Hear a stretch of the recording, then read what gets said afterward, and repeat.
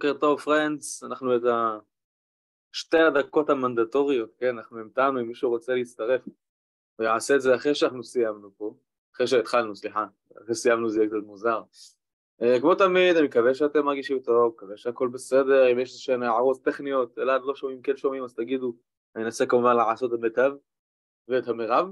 Uh, אנחנו היום נזכיר בקצרה מה זה, מה מה התכונה המרכזית של היטל, ככה אנחנו תכלס, ככה לפחות אני בהרצאה הגדרתי אותו, ואז נוכל להשתמש בזה כדי לעבור על הנושא הבא, שכמו החברים שלו הוא גם מאוד טכני, אבל הוא יותר קל מ... לא שמית או כאלה, לפחות מבחינת.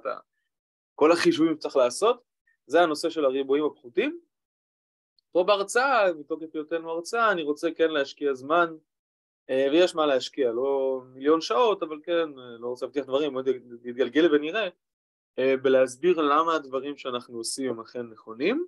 השורה התחתונה הטכנית אבל תהיה, כפי שאתם תראו, מאוד אה, פשוטה, אנחנו נעשה פה גם מן הסתם אה, שתיים, שלוש, לא רוצה להבטיח מספר של דוגמאות ודוגמאות יותר ראש בקיר כמובן תהיינה בתרגול. הנושא הבא אחרי אחרי ריבועים פחותים אפשר לקרוא לו מטריצות מיוחדות קצת לדבר אה, על מה זה מטריצה של ורוד, מטריצה אורתוגונלית וכאלה, מבחינתי להשאיר אותו גם כבר לפעם הבאה לא מהר לשום מקום, מצד שני אני לא יודע אם ריבועים פחותים ידרשו את השלוש שעות ברוטו שיש לנו, האקדמיות, אז בואו, כמו שתמיד אנחנו, אני אומר, אנחנו נגלגל ונראה לאן אה, נגיע. אז אני כמובן, כרגלנו בקודש, אשתף איתכם את המסך שלי, רק תזכורת קצרה על היטל, בסדר? אה, רגע שנייה. מסתיר את הבקר, בקר השליטה של הזום, מסתיר את כל המסך פחות או יותר, זה הסיפור שלו. אה, אז ככה, אז תזכורת, אה, אנחנו אומרים ש... אה, יהי, למה לא? בסדר, יהי, ומרחב וקטורי, מרחב מכפלה פנימית, כלומר לא צריך מרחב וקטורי, כמובן מכפלה פנימית, ויהי יהיו איזשהו תת מרחב של V,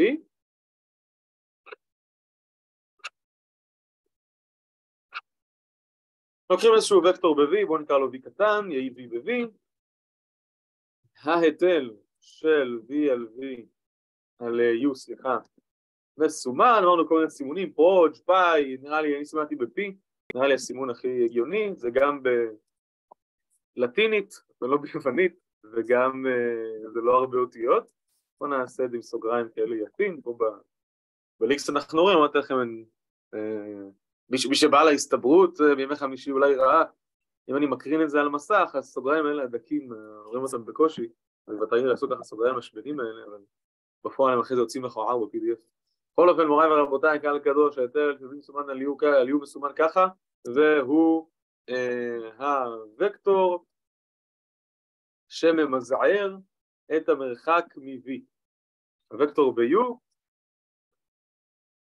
שמזהר את המרחק מהוקטור V, כלומר, אה, מבחינת כתיב מתמטי לכל וקטור U ב-U מתקיים שהנורמה של V פחות ההיטל שלו, רגע עשיתי איזה מודיות אחרות, של V פחות ההיטל, קטנה שווה מהנורמה של אה, V פחות U.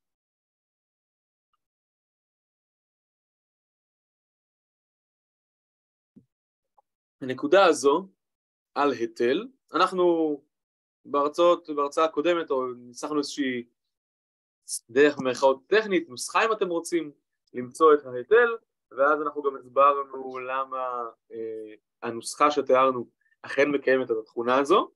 עכשיו הנוסחה עצמה של ההיטל פחות קריטית לי, אולי היא תצוץ, אבל היא פחות קריטית כרגע, ואני רוצה אה, להשתמש בבסיס הזה של, של היטל, שהוא ממזער את המרחק, כדי להתקדם אל, אה, שוב, הנושא של היום שנקרא ריבועים פשוטים. list squares. אז אני אציג את הבעיה, וריבועים פחותים תהיה השיטה שפותרת אותה. אני כמובן רוצה להסביר באריכות למה זה פותר את זה, אז אנחנו נתקדם צעד צעד אה, באופן מסודר עד שנגיע לשיטת הפתרון, ואז אנחנו נדגים, לפחות כמו שאמרתי, שתיים שלוש דוגמאות. אז מה הם ריבועים פחותים? אנחנו נזכיר פה כמה דברים מהקורס הקודם, Uh, ככל שאני מריץ בראש את מה, שעשינו לפני ארבעה שבועות מצד אחד, מה שאני רוצה לעשות עכשיו מצד שני, את רוב הדברים האלו לא הזכרנו בהרצאה, התמקדנו בתזכורת בדטרמינטו וכן הלאה, שזה גם חשוב להמשך הקורס, uh, אבל בהחלט יכול להיות שהדברים האלה הוזכרו בתרגול, במיוחד הסיפור של צירוף ליניארי וכן הלאה, בכל מקרה, אני אזכיר את הדברים, אני לא אומר ואני רוצה שנבין. אז הרעיון הוא כזה, נתונה לנו איזושהי uh, מערכת משוואות ליניאריות. באופן כללי ביותר, אני לא אתעצל פה ולרשום את זה, כדי לרשום מערכת של משוואות ליניאריות, אני צריך לתאר איזשהו מין, איזשהו מין דבר כזה. אני צריך, נראה לי ארבע שורות הספיקו בעמודה אחת. איזשהו A11 כפול X1 ועוד A12 כפול X2 וכן הלאה, שלוש נקודות, עד שמגיעים ל... A1NXN זה שווה לאיזשהו B1 מקדם חופשי. אותו דבר A21X1 ועוד A22X2 ושלוש נקודות, שלוש נקודות יפות עד שמגיעים ל-A2NXN שווה B2 ועל זו הדרך ועל זו הדרך עד המשוואה האחרונה נגיד יש N משתנים ו-M משוואות אז AMN AM1 x1 ועוד am2 x2 ושלוש נקודות עד שמגיעים ל-amn xn שווה ל-bn ככה משוואות לינאר באופן כללי. אנחנו יודעים שבאמצעות כפל מטריצות אפשר לרשום את המערכת באמצעות כפל מטריצות, מה שאני אוהב לקרוא לו כתיב מטריציוני, יש פה אומרים מטריציאלי, מטריצי, מטריציוני יש לזה vibe איטלקי, זה נשמע לי הכי מגניב. Uh, באופן הבא, שוב דברים שראינו בקורס הקודם, ודרך גם בקורס הזה בשבוע הראשון, כן הזכרנו את הסיפור של uh, כפל מטריצות, בעצם מדובר במכפלה של המטריצה, נראה לי 4 על 4 הספיק לי פה, ווקטור המשתנים, אני ארשום את זה, A11, A12, שלוש נקודות עד A1M ו-A21, A22, שלוש נקודות עד A2M ושלוש נקודות כאלה של מאונח, שעשו גם, אם אתם רוצים, אחד באלכסון, לא כזה קריטי, עד שמגיעים לשורה התחתונה, AMN, A, A הוא טוב אחי, אין לזה, AM1, AM2, AM3 וכיוצא באלו, שלוש נקודות אמורות להיות פה, עד שאני מגיע ל-AMN, זו המטריצה, אני מכפיל בה את הוקטור של המשתנים, הפעם אני אסתפק בעבודה אחת, x1, x2 וכו' וכו' עד xn, ומקבל את הוקטור של הבים של המקדמים החופשיים, ככה הם נקראים בעגה המקצועית, b1, b2 וכיוצא באלו עד b. שוב, אלה דברים שראינו בקורס הקודם, ואנחנו יודעים מה, מה אנחנו צריכים לעשות בשביל המערכת הזאת, א', בשביל למצוא מספר הפתרונות שלה, וב', כדי למצוא ממש את הפתרונות על המטריצה. לדרג, דירוג קנוני וכן הלאה. זה לא דחוף לי עכשיו, אבל בואו שנייה נעשה את זה יותר קל. אם נסמן, כן, ואפשר לסמן בקצרה, או ואפשר, בתכליתיות, כמה זה? מטריצה A כפול וקטור של משתנים X שווה לוקטור של מקדמים חופשיים B. ככה אפשר לתאר בתמציתיות, בתכליתיות, מערכת משוואות ליניאריות, מה שהיה נושא מאוד מרכזי בקורס הקודם. ושוב, בקורס הקודם דיברנו מתי יש פתרון, אין פתרון, שורת סתירה, בואו נדרג, בואו נעשה ככה. אנחנו רוצים בקורס הזה להסתכל על משהו מעט אחר. אנחנו רוצים להגיד ככה, מה קורה שלמערכת? אין פתרון. מה אפשר לעשות אז? חוץ מהנחת הבסיס הזאת של המערכת אין פתרון, תוך כדי הדיון שלנו ונראה מה עושים, אני אוסיף עוד איזושהי, עוד איזושהי הנחה או שתיים, נניח שהעמודות של המטריצה הן בתל או משהו כזה, אבל לאט לאט כשנגיע לשם אני אוסיף. נניח שלמערכת אין פתרון. נניח שאנחנו רוצים את ה... אם בא לכם הקירוב הכי טוב לפתרון, או משהו בסגנון. בסדר? אפשר לדבר מה זה בדיוק הקרוב הכי טוב, אני טיפה ארחיב על זה את הדיבור, אבל בפשטות אין פתרון. אם יש משהו שמקרב את הפתרון, מציב אותו במקום ה-x'ים, מקבל כמעט את המספרים b. בסדר? אז נניח את הפתרון ואנחנו מעוניינים בקירוב של הפתרון. סתם בשביל הדוגמה, בואו נתבונן בדוגמה הבאה, אולי לאחר מכן נעשה אותה מפורשות. אה, אני לוקח משהו מהדף תרגילים, בסדר? לא צריך להיות יצירתיים יותר מדי, אולי איזה דף זה כאילו פתחתי אותו עדיין. אה, דף חמש, אה, הנה סבבה. נגיד נתונות ארבע נקודות במישור, האמת היא שאולי אני אעשה סתם נקודות אחרות כי לא חייבים את הנקודות האלה שהם מתרגלים מה לעשות, לא, אני רואה פה מיליון שאלות, נכון, אפשר לעשות כמה כאלה. 1, 5, 2, 6, 3, 6, 4, 7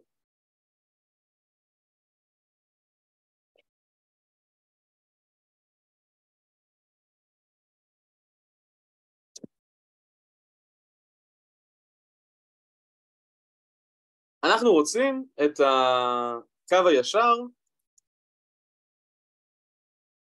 בקו הישר שבסך הכל, כבר נסביר בדיוק מה זה, הכי קרוב לנקודות האלה. אפשר כמובן לתאר את זה כמערכת של משוואות. אפשר לתאר זאת כמערכת של משוואות לינאריות. הישר נקרא לו y שווה, איזה אותיות אתה מביא לקו ישר? Ax ועוד b, mx ועוד b, mx ועוד n. Ax ועוד b. Ax ועוד b, סבבה. זאת אומרת הישר y שווה x ועוד b. ואנחנו בעצם רוצים, לכאורה רוצים, שתתקיימנה ארבע משוואות. שהנקודה 1-5 תקיים את משוואת הישר, כלומר כשאני מוסיף אותה פה אני אקבל פסוק אמת, והנקודה 2-6 וכן הלאה. בואו נרשום שנייה את כל המשוואות שמתקבלות מהדרישה הנקודה תהיה על הישר. אז הנקודה 5-1 נותנת לי 5 שווה a ועוד b, והנקודה 6-2 נותנת 6 שווה 2a ועוד b, והנקודה שלוש שש נותנת שש שווה שלוש A ועוד B והנקודה שבע ארבע נותנת שבע שווה ארבע A ועוד B שוב אני כאילו מציב במקום X את שיעור ה-X Y שיעור ה-Y ואם אני רוצה שלכאורה כל הנקודות תהיינה על הקו הישר ארבע המשוואות האלו צריכות להתקיים. בסדר? ואפשר לרשום אם אתם רוצים בכתיב מטריציוני כדוגמה מספרית לאותיות והאינדקסים שרשמנו פה, יש כאן מטריצה שהמקדמים שלה, כאילו של A ו-B המשתנים זה 1-1, 2-1, 3-1 ו-4-1 אני מכפיל את זה בוקטור של המשתנים A-B אני צריך עמודה אחת ושתי שורות, נכון? ומקבל את הוקטור של המקדמים החופשיים 5, 6, 6 ו-7 שימו לב שהסדר שבו הדברים רשומים פה הוא הפוך, כמובן שבשוויון זה מאוד לא משנה, אבל פה המקדמים החופשיים דווקא איכשהו רושמים בצד שמאל, ככה שאני רשמתי, והשאר בצד ימין, בכל מקרה שוויון שוב. אפשר להחליף את הסדר איך שבא לנו, אז זו בעצם המערכת שאותנו מעניין לפתור. עכשיו שוב, למערכת אין פתרון. אין קו ישר שממש עובר בכל הנקודות. עכשיו, כשאנחנו רוצים למצוא את הישר שנותן את הקירוב הטוב ביותר לישר הזה, אפשר לחשוב על כמה דרכים לעשות את זה. למשל, אפשר להגיד, אני רוצה קו ישר שעובר בכמה שיותר נקודות. אם יש נגיד קו ישר שעובר בשתיים מהנקודות האלה, אז בואו ניקח אותו. אם יש קו ישר שעובר בשלוש מהנקודות, אפילו יותר טוב, הוא יהיה הקירוב הטוב שלי. שוב, אין ישר שעובר בכל הארבע. אפשר לחשוב על זה ככה, לא ניכנס רגע לעומק למה אנחנו לא רוצים לעשות, אנחנו כן רוצים, אני כן רוצה אבל לדבר על, סתם באריכות, על מה אנחנו כן רוצים לעשות, אז אנחנו בעצם, אפשר גם להכניס את זה גיאומטרית, רוצים להסתכל על הישר, שנייה שוב את זה ואז אני אכחיש גיאומטרית, להסתכל על הישר שסכום המרחקים שלו מהנקודות, אה, ותכלס סכום המרחקים בריבוע אה, הוא הקטן ביותר, בסדר? אז מי הישר הקירוב שלנו יהיה הישר שסכום מרחקיו מהנקודות, ואני אוסיף בסוגריים בריבוע, תכף נראה את זה בגיאומטריה, הוא הקטן ביותר. מבחינה גיאומטרית, ואני מצייר פה איזושהי מערכת צירים, ושוב, הציורים שלנו הם, הנקודות שלנו ברביע הראשון, דרך כלל חוקרים דוגמאות כאלה, לא צריך להתפרע עם רביעים אחרים, כי כמובן זה תקף ועובד גם ברביעים אחרים, אז אני עושה פה איזשהם שני אה, קווים, ויש לי ארבע נקודות, אבל לא כזה משנה בדיוק מה הנקודות לקחנו, כן? נגיד יש לי סתם ארבע נקודות פה, משהו כזה, בסדר? עכשיו ברור שאין קו ישר אחד שעובר בכולנו, לא משנה איך נסבן את זה. עכשיו הקו הישר שאני רוצה, אם אני אציין אותו בצבע אחר, בואו נעשה אפקטים, נגיד כחול, משהו כזה נגיד, סתם, לא אומר שזה הקרוב הטוב יותר באמת, אני סתם אתן פה דוגמה. אני רוצה אותו, הוא גם לא דווקא חייב לעבור בראשית, כן? סתם רושם. אני רוצה אותו ככה שהחברים באדום,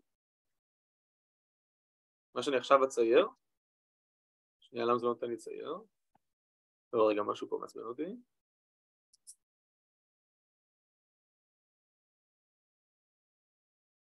רגע, משהו פה...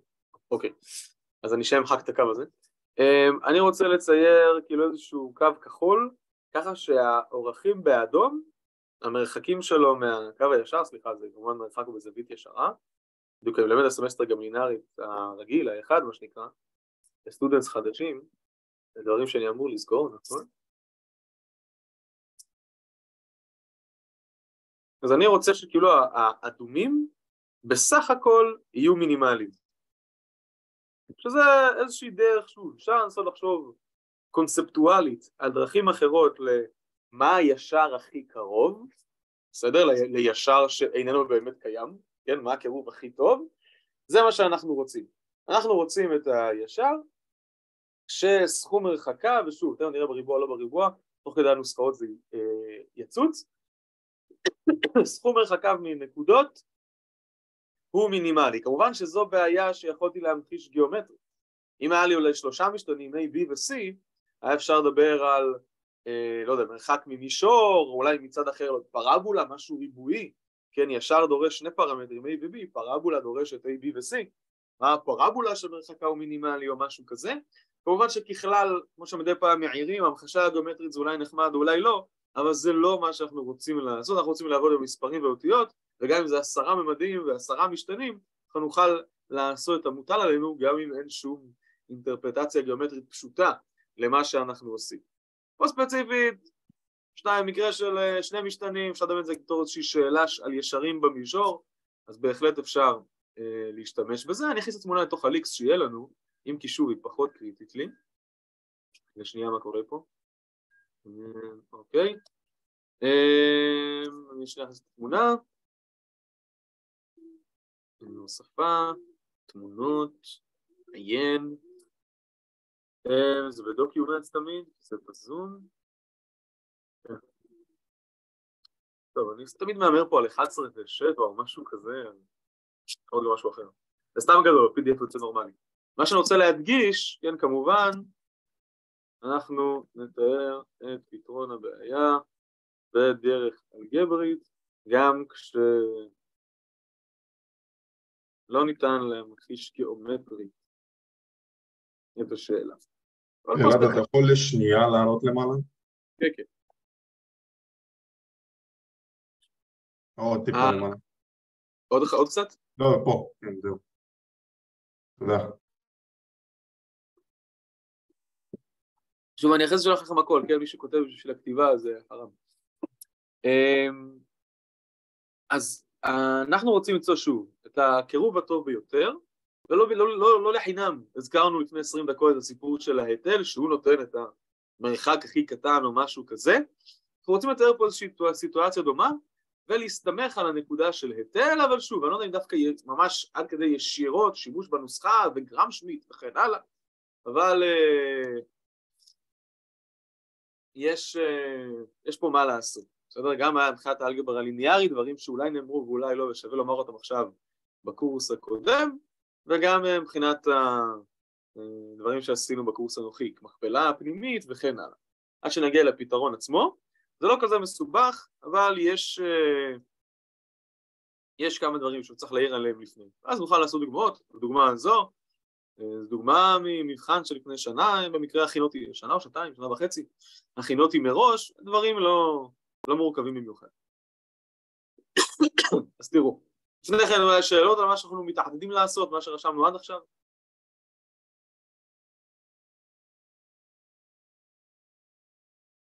אוקיי, אז כדי לענות על הבעיה, שוב, מה הקירוב הטוב ביותר, איך מוצאים אותו וכן הלאה, אנחנו צריכים אה, לשפשף את הידע שלנו באלגברה של הקורס הקודם. אז תראו, אה, טענה, אה, הוקטור a כפול x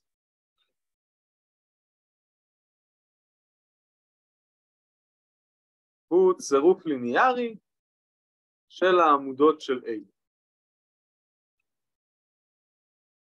בסדר? סתם של הסימון, את העמודה, לי דיברנו על זה פעם בשבוע הראשון, כן, C1, C2, ככה אני מכפיל מטריצות, אז לא אזכיר מפורשות הסימון עכשיו. בואו נסביר את הטענה הזו, למה היא נכונה. בואו נרשום את הדברים במפורש. תחת אותם הסימונים של ההערות מקודם, כלומר מטריצה A זה הדבר הזה והוקטור X זה הדבר הזה, כמובן אפשר לבחור אותיות אחרות אבל לא משנה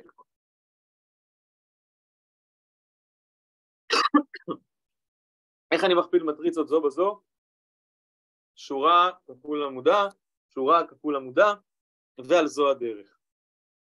המקרה שלנו זה יהיה לא כיפי אבל זה מה יש, זה יהיה פשוט החתיכה הזאת, כן, צד שמאל של המשוואות. אם אני אעתיק ואדביק, מה שמדי פעם אני מעיר כמו שאתם יודעים, אי אפשר לעשות בלוח, זה קצת נוח.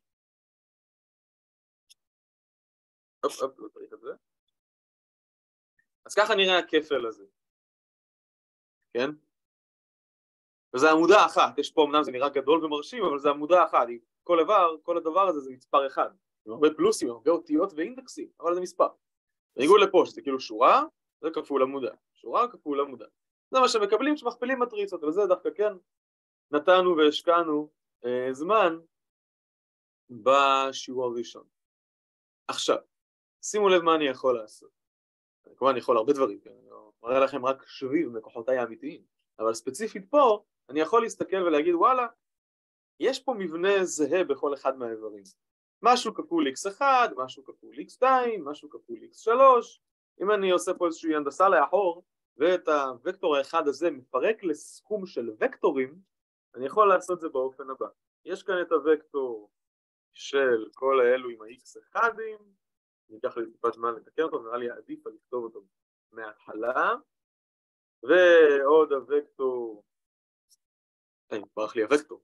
רגע, קודם כל סוגריים, עכשיו, control V ועוד הוקטור של כל ה-x2, a1-2 כפול x2 בשורה הראשונה, a2-2 כפול x2 בשורה השנייה, וכן הלאה עד שמגיעים ל-am2x2 בשורה ה-m, וכיוצא בזה עד שמגיעים אל הוקטור האחרון שאני רוצה לתאר בסכום, שבו מופיעים כל האיברים שיש בהם xn. a1n xn מהשורה הראשונה, a2 xn מהשורה השנייה, עד AMN XN מהשורה ה-N. שוב, יש לי סכום בתוך הוקטור, אני יודע שווה לסכום מחוץ לוקטורים. אתה יכול רגע לחזור על מה שעשית במקום שלוש ומה שעשית במקום ארבע? כאילו בין ה... בין ה-A11, X1 ועוד A12 ועד כן. שצמצמת. המעבר הזה? כן. אז שוב, יש לי פה וקטור אחד, נכון? הוקטור הזה הוא סכום של כמה וקטורים, שאני יכול לתאר אותו כך, אנחנו יודעים איך מוגדר חיבור בין וקטורים. אה, פשוט, אוקיי, אתה פירקת את זה, אוקיי, בסדר. לכן אמרתי, תסתכלו על זה גם הפוך, זאת אומרת, נכון, נסע לאחור. אני מחבר חזרה, אני מקבל את זה, כן? כן, אבל כן. גם הפוך זה מה שאנחנו יצאנו לעשות לא מעט עוד מהקורס הקודם. עכשיו תראו, בכל וקטור יש לי סקלר אחד ששוזר אותו לאורכו, פה כל הרכיבים מוכפלים ב-x1, פה כל הרכיבים ב-x2 ועל זו הדרך, אני יכול להוציא אותם החוצה. אני יכול, שוב, כפל בסקלר של וקטורים, את כל ה-x1 מהמכפלה הזאת, בכלל לרשום פה. ואת כל ה-x2 מהמכפלה הזאת, בכלל לרשום פה. וכן הלאה וכן הלאה. עד שאני מגיע אל xn כפול הוקטורים האלו. עכשיו, לאן כל האותיות והאינדקסים האלו מוליכים אותי? אל השורה התחתונה. מה זה A11, A21? זה העמודה הראשונה של A. מה זה A12, A22? זו העמודה השנייה של A. ועל זו הדרך, אני יכול בעצם לרשום פה שזה x1 כפול העמודה הראשונה של A, שהוא מה שאני מסיים ככה, C1, כל אחד שיחשוב בלב איך אומרים העמודה באנגלית, ויש לנו פה x2 כפול c2 עם העמודה של a ושלוש נקודות, אם ממש רוצים אפשר לרשום את זה עם סיגמה, נכון? xk כפול ck, זה נראה לי מיותר, וזו ההגדרה של צירוף ליניארי, סקלר כפול, סקלר כפול, סקלר כפול, נכון? וזה אכן צירוף ליניארי של העמודות של A. סקלר כפול העמודה הראשונה, ועוד סקלר כפול העמודה השנייה וכולי. זו בעצם ההוכחה לטענה שלי, באופן כללי לגמרי, כן? לא משנה איזה מטריצה, לא משנה איזה וקטור X, מכפילים אותם אחד בשני, הוקטור שמתקבל AX הוא צירוף ליניארי של עמודות המטריצה. שאלות על מה שהוכחנו פה?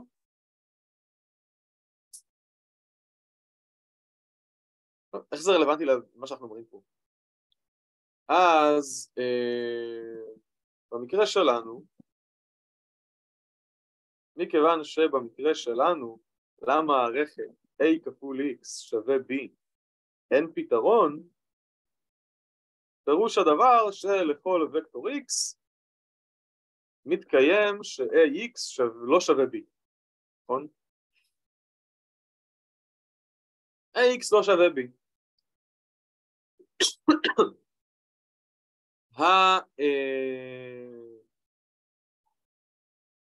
הוקטור משמאל, AX, הוא צירוף ליניארי של העמודות, נכון?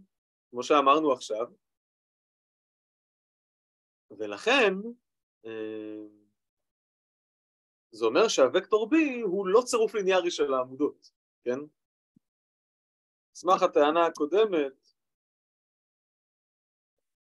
פירוש הדבר שהוקטור B איננו צירוף ליניארי של, עברי, של עמודות A.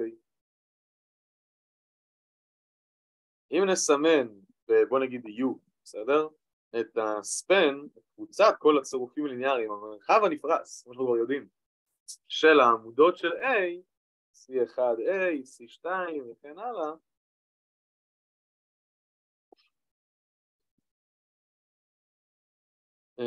בסוגריים אני רושם המרחב הנפרס על ידי עמודות A, אנחנו נקבל ש-B לא שייך לשם, נכון? לא שייך ל-U. נקבל שה-B שלנו איננו ב-U. על השורה וחצי שרשמתי פה יש שאלות?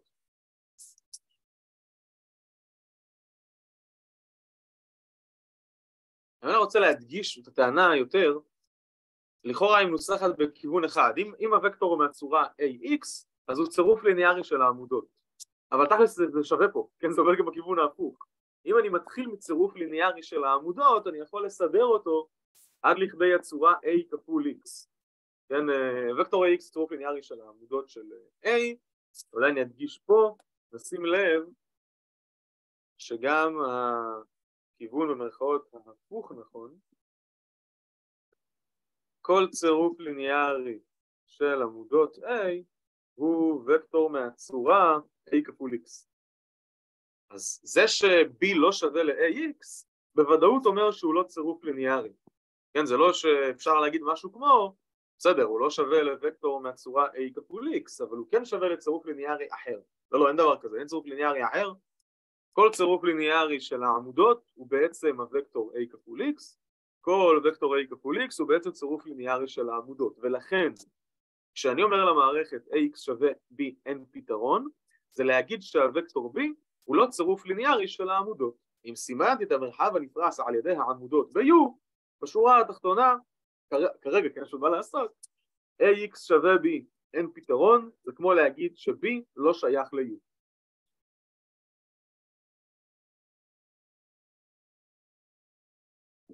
שוב, שאלות על מה שאמרנו עד לכאן?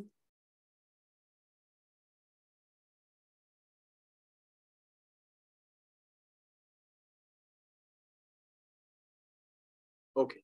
אז עכשיו, אה, אם אנחנו, אנחנו מעוניינים, אם כן, אנחנו מעוניינים בווקטור, אה, בווקטור, סליחה, מהצורה a כפול x שהכי קרוב ל-b והוא נמצא ב-u, כן? מכיוון ש-u הוא המרחב של כל הוקטורים מהצורה a כפול x, אנחנו מעוניינים בוקטור uh, שהכי קרוב ל-b ב-u. מה הוקטור משתנים שנציב פה, עכשיו זה a ו-b, כן, קומה x'ים, ונקבל הכי קרוב ל-b, הכי קרוב ל-5, 6, 6, 7. אז, כמו שהתחלנו, לפני חצי שעה פלאס, אנחנו יודעים שזה היטל. ואנו יודעים שזהו ההיטל. הוקטור AX שאנחנו מחפשים הוא בעצם ההיטל של הוקטור B על U. לכאורה כבר נתתי תשובה. לא רק תיאורטית, כן זה ההיטל, אלא טכנית. יש לי מרחב וקטורי, זה, יש לו פה קבוצה פורסת. אני רוצה, יש לי וקטור B כלשהו, שוב, אני אתן פה בעיה, כמובן את הבעיה באופן כללי, אבל ספציפית בתרגיל, יש לי מספרים. זה הוקטור B, ושתי העמודות האלה פה, זה הבסיס של המרחב U, יש לי עם מי לעבוד, כן? ואיך אני מוצא היטל?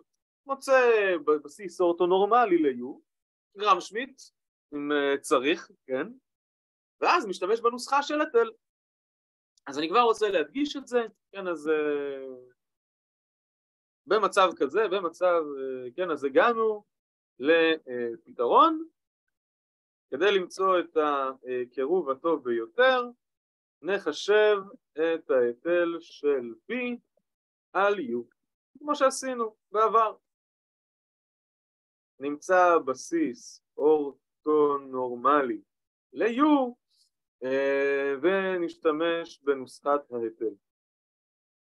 ושוב, מדובר פה על סיטואציה כללית, ברמה הטכנית ותן תרגיל, זה משהו שבהחלט אנחנו יכולים לעשות, והוא גם לא כזה בשמיים, כן? זה לא מיליון שעות, ספציפית בתרגיל הזה. יש לי רק שני וקטורים ב-U, כי זה שוב העמודות, 1, 2, 3, 4, 1, 1, 1, 1, הם לא אורתונורמליים, אבל לעשות להם גרם שמיט זה כמה שורות, ואז למצוא את ההיטל עם הנוסחה של היטל, ווואלה, מצאנו את הפתרון. אני אומר, זה בהחלט אפשרי. זה בהחלט אפשרי, או אני אצטרך משפט מעט אחרת, אני אותו, בהחלט אפשרי לפתור כך, אבל אנחנו רוצים לתאר, נמשיך ונתאר דרך אה, פשוטה יותר לעשות. כי זה לא סתם היטל, כן? זה לא בוא נמצא ערך מוחלט של x על הספן של סינוס, דברים שעשינו. יש לי פה סיטואציה ספציפית. מה, זה באנו, באנו ממערכת של משוואות ליניאריות, ואני יודע שהנפשות הפועלות, העמודות של A, הוקטור B וכן הלאה, אלה ממש וקטורים, במרכאות וקטורים אורגינל. ואני יכול להשתמש בידע הרחב במרכאות שיש לי על וקטורים אורגינל, מה שלפעמים אין לי כשמדובר במטריצות או בפולינומים או בפונקציות, כדי לפשט יותר את הפעולה שאנחנו עושים פה. ושוב, הדוגמה שנתנו, יש שתי עמודות, אז לעשות גרם שמיט זה די מהיר. אם יש לי מטריצה עם חמש עמודות, לא יודע, כל עמודה שבעה רכיבים או משהו כזה, זה כבר לוקח יותר זמן. כמובן שגם הדרך שנתאר פה עם המטריצה עם מיליון על מיליון ייקח זמן, אבל בשורה התחתונה, כשנגיע לשורה התחתונה, עד ההפסקה, אה, לפחות אם לעשות את שער רבע, כן בואו נגיע לשמונה חמישים נחליט מה בא לנו, אנחנו אמורים כבר להספיק להגיע אל השורה התחתונה, איך בפועל עושים ריבועים פחותים, אז שוב נוכל לעשות דוגמאות עד שטיפה יימאס ונראה אם בא נמשיך לשלב הבא, אבל כרגע יש לי פתרון לבעיה, והנה שימוש מפורש להיטל, ואני רק, רק אה, בהמשך אני אעיר למה זה שימושי, כן, במחאות בחיים האמיתיים, ולא רק מבחינת בואו נפתור את המבחן ונקבל תואר, שזה כמו שאתם יודעים, השימוש מבחינתי תמיד העיקרי למה שאנחנו עושים פה, אבל זה נחמד, אין ספק, להסתכל מדי פעם על איך זה טוב בחיים עצמם, גם על זה, אז אם כבר רק ואני מנרלר, גם על זה אני ארצה להעיר מתישהו בהמשך היום. בכל אופן, אני רוצה שנסכם מה שעשינו עד עכשיו, מצאנו פתרון לבעיה, וואלכ למערכת אין פתרון, מי הקירוב הכי טוב? זה בעצם ההיטל של הוקטור V על ספן העמודות של A, ואני רוצה להמשיך ולתאר דרך יותר טובה אפילו לפתור את זה שברמה הטכנית תהיה באמת די פשוטה. לפני כן שאלות על מה שאמרתי פה בדקות האחרונות?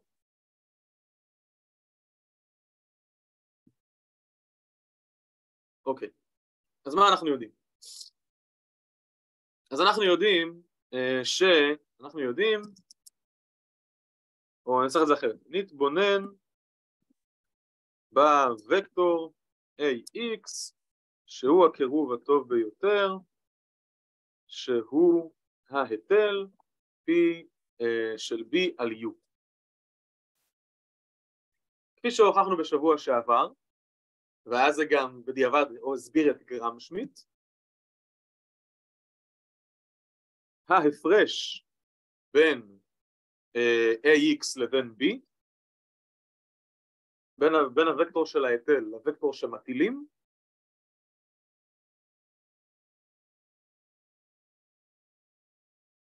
וקטור שלו חישבנו היטל, מאונח לכל הוקטורים ב-U. זה כאילו היה כל הרעיון לגרם שמיט, שאני כל פעם לוקח וקטור שמאונח לכל השאר, מה שהופך בסופו של דבר את הבסיס לאורתוגונלי. נרמלים אז אורתונורמלי. אז זה כבר טענה ששוב, ראינו והוכחנו כל כל המכפלות הפנימיות שיצאו החוצה בתוך מכפלות פנימיות, יש שם דברים כיפיים, כל מיני שורות נפרדות, אבל את זה כבר התקדמנו, אה, התקדמנו מאז, תעצמנו מאז מה שנקרא, אז ההפרש הזה מונח לכל הוקטורים ב-U, כלומר אה, אפשר לרשום משהו בסגנון הבא. נרשום את זה ככה כמשוואות אם אתם רוצים. אה, יש לי פה משוואות. זה ככה, נו. אז עזבו, נעשה את זה מההתחלה. אני יכול ללכת למעלה עד שנמצא את זה בקורס. אז יש לי... ככה, יש לי משוואה אחת שאומרת וואלה, המכפלה הפנימית, סוגריים שכולם אוהבים, של מכפלה פנימית, איפה הם? המכפלה הפנימית של הוקטור C1, העמודה הראשונה, ושל ההפרש, AX פחות B, זה 0, כי הם אה, מאונחים. והמכפלה של העמודה השנייה, C2A, זה 0, וכן הלאה וכן הלאה. אה, נקודות כאלה אני מעדיף, עד העמודה האחרונה, שגם היא המכפלה שלה היא אפס.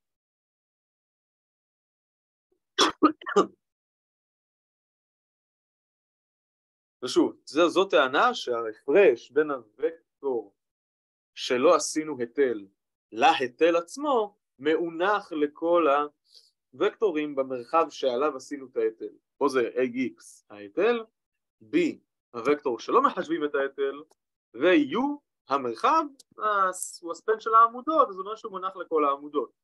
שבוע שעבר, במקום עמודות, קראנו לזה E1, E2 וכן הלאה, הרעיון הוא כמובן אותו רעיון.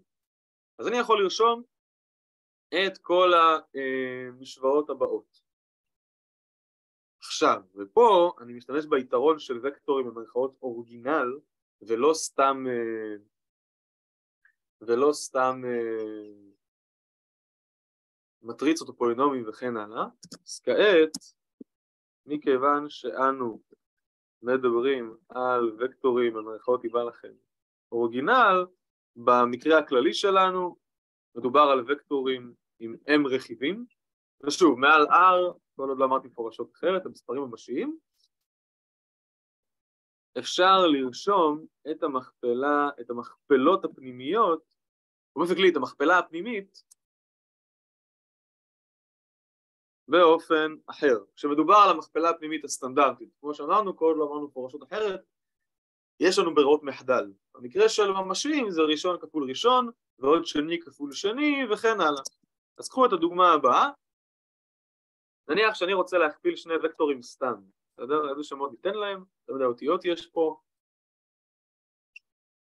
בוא נגיד U ו-V, בסדר? V ו-U, לא משנה. אז אני רוצה להכפיל מפורשות את הוקטורים שנקרא להם נגיד U1, U2 וכן הלאה עד איזשהו UM, אמרנו אם יש לי פה M רכיבים בוא נגיד את זה עם M והוקטורים V1, V2 וכן הלאה עד VM ואת זה אפשר לרשום U1, V1 ועוד U2, V2 וכן הלאה וכן הלאה עד UMVM. זה סבבה, זה ההגדרה. עד לכאן לא חידשתי כלום. אבל עכשיו אני יכול להשתמש בכפל מטריצות כדי לרשום את הוקטורים באופן הבא. אפשר לעשות את זה בשתי דרכים, גם U כפול V, גם V כפול U, תכף תראו למה אני מדבר.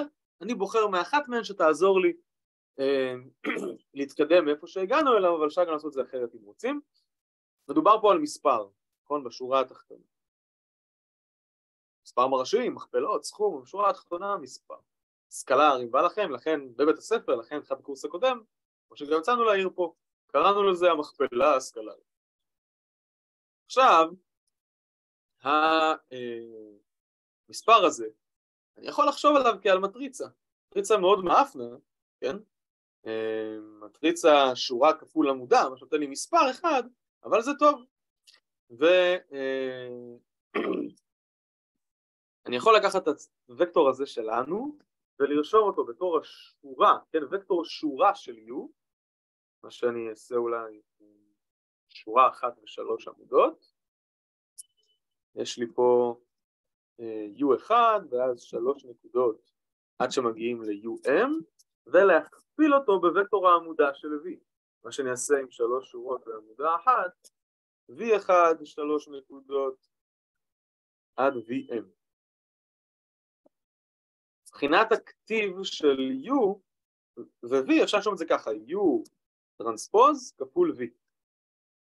כן, אפשר, לש... כלומר, גם בעברית מפורשות, אפשר לתאר את המכפלה הפנימית, שוב זו הסטנדרטית, בלי סוגריים אפילו. אז עם סוגריים. שוב, אמרנו את ברירת המחדל, לא, לא צריך לציין מפורשות, שיהיה לנו ברור מה אנחנו עושים. המכפלה הפנימית הסטנדרטית של שני וקטורים כמכפלה של וקטור שורה ווקטור עמודה. ברירת המחדל אצלנו, זה אנחנו אומרים בקורס הקודם, וקטורים פסיקים זה וקטורי עמודה. איך אני יכול להכפיל את x ב-a? כי הוא עמודה. למה זה שווה או לא שווה ל-b? כי הוא עמודה. הכל פה זה עמודות, ולכן אם אני רוצה לומר שזה דווקא שורה, כדי שהמכפלה של המטריצות שורה בעמודה תסתדר, אני צריך לסמן טרנספוז. בסדר, את ה-t הזה, את השחלוף. ברירת המחדל אצלנו היא עמודות, ולכן אנחנו נסמן שורה כווקטור משוחלף עם טרנספוז, כן?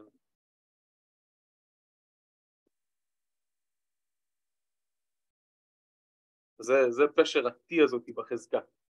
נשים לב שגם כמובן אפשר לרשום את זה בתור V כפול U. כמובן, אפשר לרשום גם את המכפלה, אפשר גם לרשום את המכפלה U כפול V בתור V טרנספוז כפול U, כן, במכפלה פנימית, אנחנו יודעים שאפשר להחליף את הסדר, זה לא משנה מי השורה או העמודה, בכל מקרה מקבלים את אותו הדבר, אבל חשוב, חשוב שנשים לב, אני יכול לתאר מכפלה פנימית בתור אה, כפל של מטריצות, מטריצה אחת זה וקטור שורה, מטריצה שנייה זה וקטור עמודה, על סמך אה, הסיטואציה שתיארנו כאן, בסדר? לפני שאני מסביר איך זה, איך זה נותן לי להתקדם ממה שרשמתי פה, שאלות על מה שהסברתי כאן? עכשיו זה מסומן בתכלת. אז עכשיו, עם הידע הזה, עם ההבנה הזו, את המשוואות אה, שרשמנו, אלו שמופיעות כאן, נוכל לרשום כך.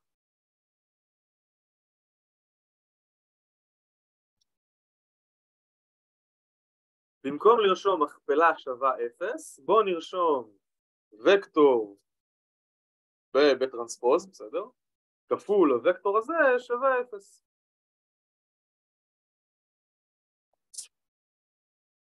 העמודה הראשונה כפול, אני אפתח סוגריים, כן? שהכפול הזה הוא כפל של מטריצות. שורה כפול עמודה שווה 0, שורה כפול עמודה שווה 0, ועל זו הדרך בכל אחת מהשורות. במקום לתאר את זה כמכפלה פנימית ששווה 0, אני מתאר את זה כמכפלת מטריצות ששווה 0. וכבר נראה איפה היתרון בזה. מה אכפת לי זה מכפלת מטריצה ולא מכפלה פנימית. אבל קודם כל, אם אני משתמש במה שרשמתי פה, לא משנה איזה סדר אני מסתכל כמובן, אני רוצה בסדר הזה שהעמודה תהיה בטרנספוז, תכף תראו למה, אני מקבל את מערכת המשוואות הבאה.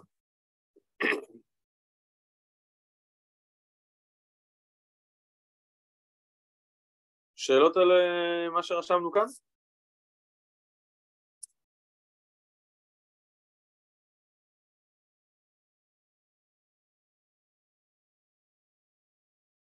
אז עכשיו אני רוצה אה, שנשים לב לנקודה הבאה, כעת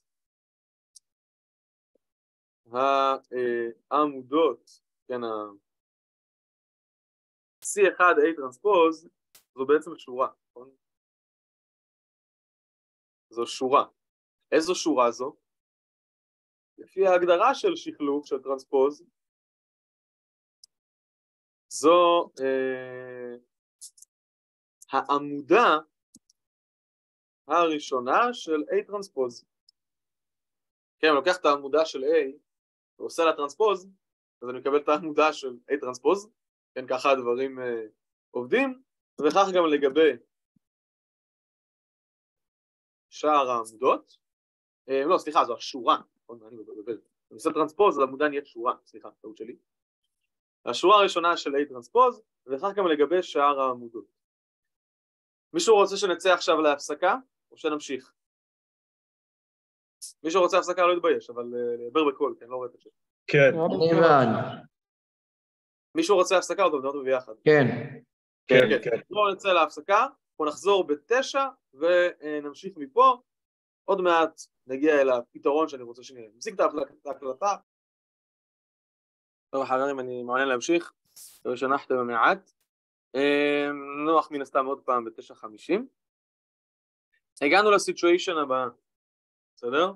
יש לי את השורה הראשונה של A טרנספוז כפול העמודה הזאת, השורה השנייה של A טרנספוז כפול העמודה הזאת, אפשר אם אתם רוצים לרשום במקום אה, עמודה עם transpose, פשוט לרשום שורה, אבל את השורה של A transpose.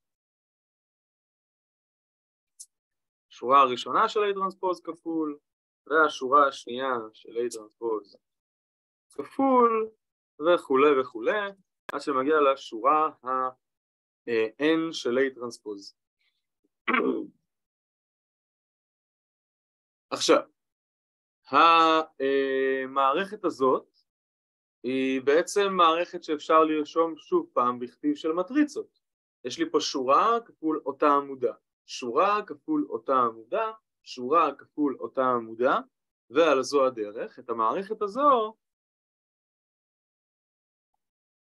אפשר לכתוב מה שקראתי לו בחלק הראשון של השיעור אה, בתכליתיות, כן, בניסוח יותר פורמלי אני קורא לזה כתיב מטריציוני, נכון? אה, בכתיב, לא בכתב, בכתיב מטריציוני באופן הבא. יש לי פה בעצם את A טרנספוז, שורה שלה כפול העמודה של AX פחות B. שורה השנייה שלה כפול אותה עמודה, AX פחות B, השורה השלישית שלה וכן הלאה, יש לנו בעצם את A טרנספוז כפול אמ, AX פחות B שווה 0.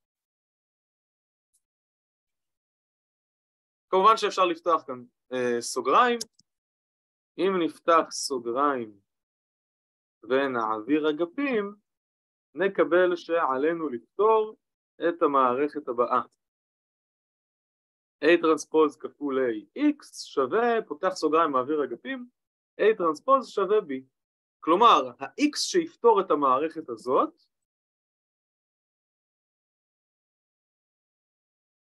הוא ייתן לנו את הקרוב הטוב ביותר.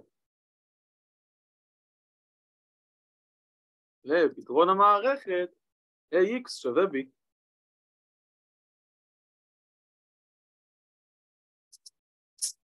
לכן, בשורה התחתונה, כדי להשתמש בשיטה הזו, ושוב היא נקראת ריבועים פחותים, מה אנחנו בפועל צריכים לעשות? אנחנו צריכים לקחת את שני אגפי המשוואה שבה אנחנו מתחילים, AX שווה B. קודם כל אולי כמובן יש שלבים מקדימים שבהם אנחנו רושמים את מה שנתנו לנו לעשות בצורה הזאת. הדוגמה שאמרנו, בכלל אמרו לי קו ישר שעובר בנקודות. אז רגע, מה זה משוואת ישר? מה זה אומר שהוא עובר בנקודות? איך אני רושם את זה בכתיב מטריציוני כמו שאני קורא לזה? אז קודם כל צריך להגיע למערכת כזאת. אבל אחרי שהגעתי למערכת כזאת, מה שאני בסך הכל צריך לעשות זה לא גרם שמיט ולא היטל, זה להכפיל ב-A טרנספוז את שני האגפים. כל משוואה אני לא יכול לעשות פעולה רק על אגף אחד, נכון? גם פה מכפילים את שני האגפים ואת המערכת החדשה שהם מקבלים לפתור. אז בשורה התחתונה, נעשה את זה בבולד, בשורה התחתונה, כדי למצוא את הפתרון הקירוב הטוב ביותר במובן של ריבועים פחותים, ליסט סקוויר של המערכת AX שווה B, עלינו לכפול את המערכת ב-A טרנספוז ולפתור את המערכת החדשה שנקבל. זו כאילו השורה התחתונה, אה, עשינו לפניה הפסקה, התכוננו נפשית, והנה הגענו אליה, לא צריך היטל ולא צריך גרם שמיט, במרכאות, או בלי מרכאות אפילו, בסך הכל לכפול את המערכת ב-A טרנספוז, זה כפל מטריצות די אה, קליל, ולפתור את המערכת החדשה, החדשה, סליחה, שמקבלים. זהו. אני רוצה כמובן, אנחנו בכל זאת הרצאה הרצאה, אבל צריך לראות גם דוגמה, נכון? שבה זה בא לידי ביטוי.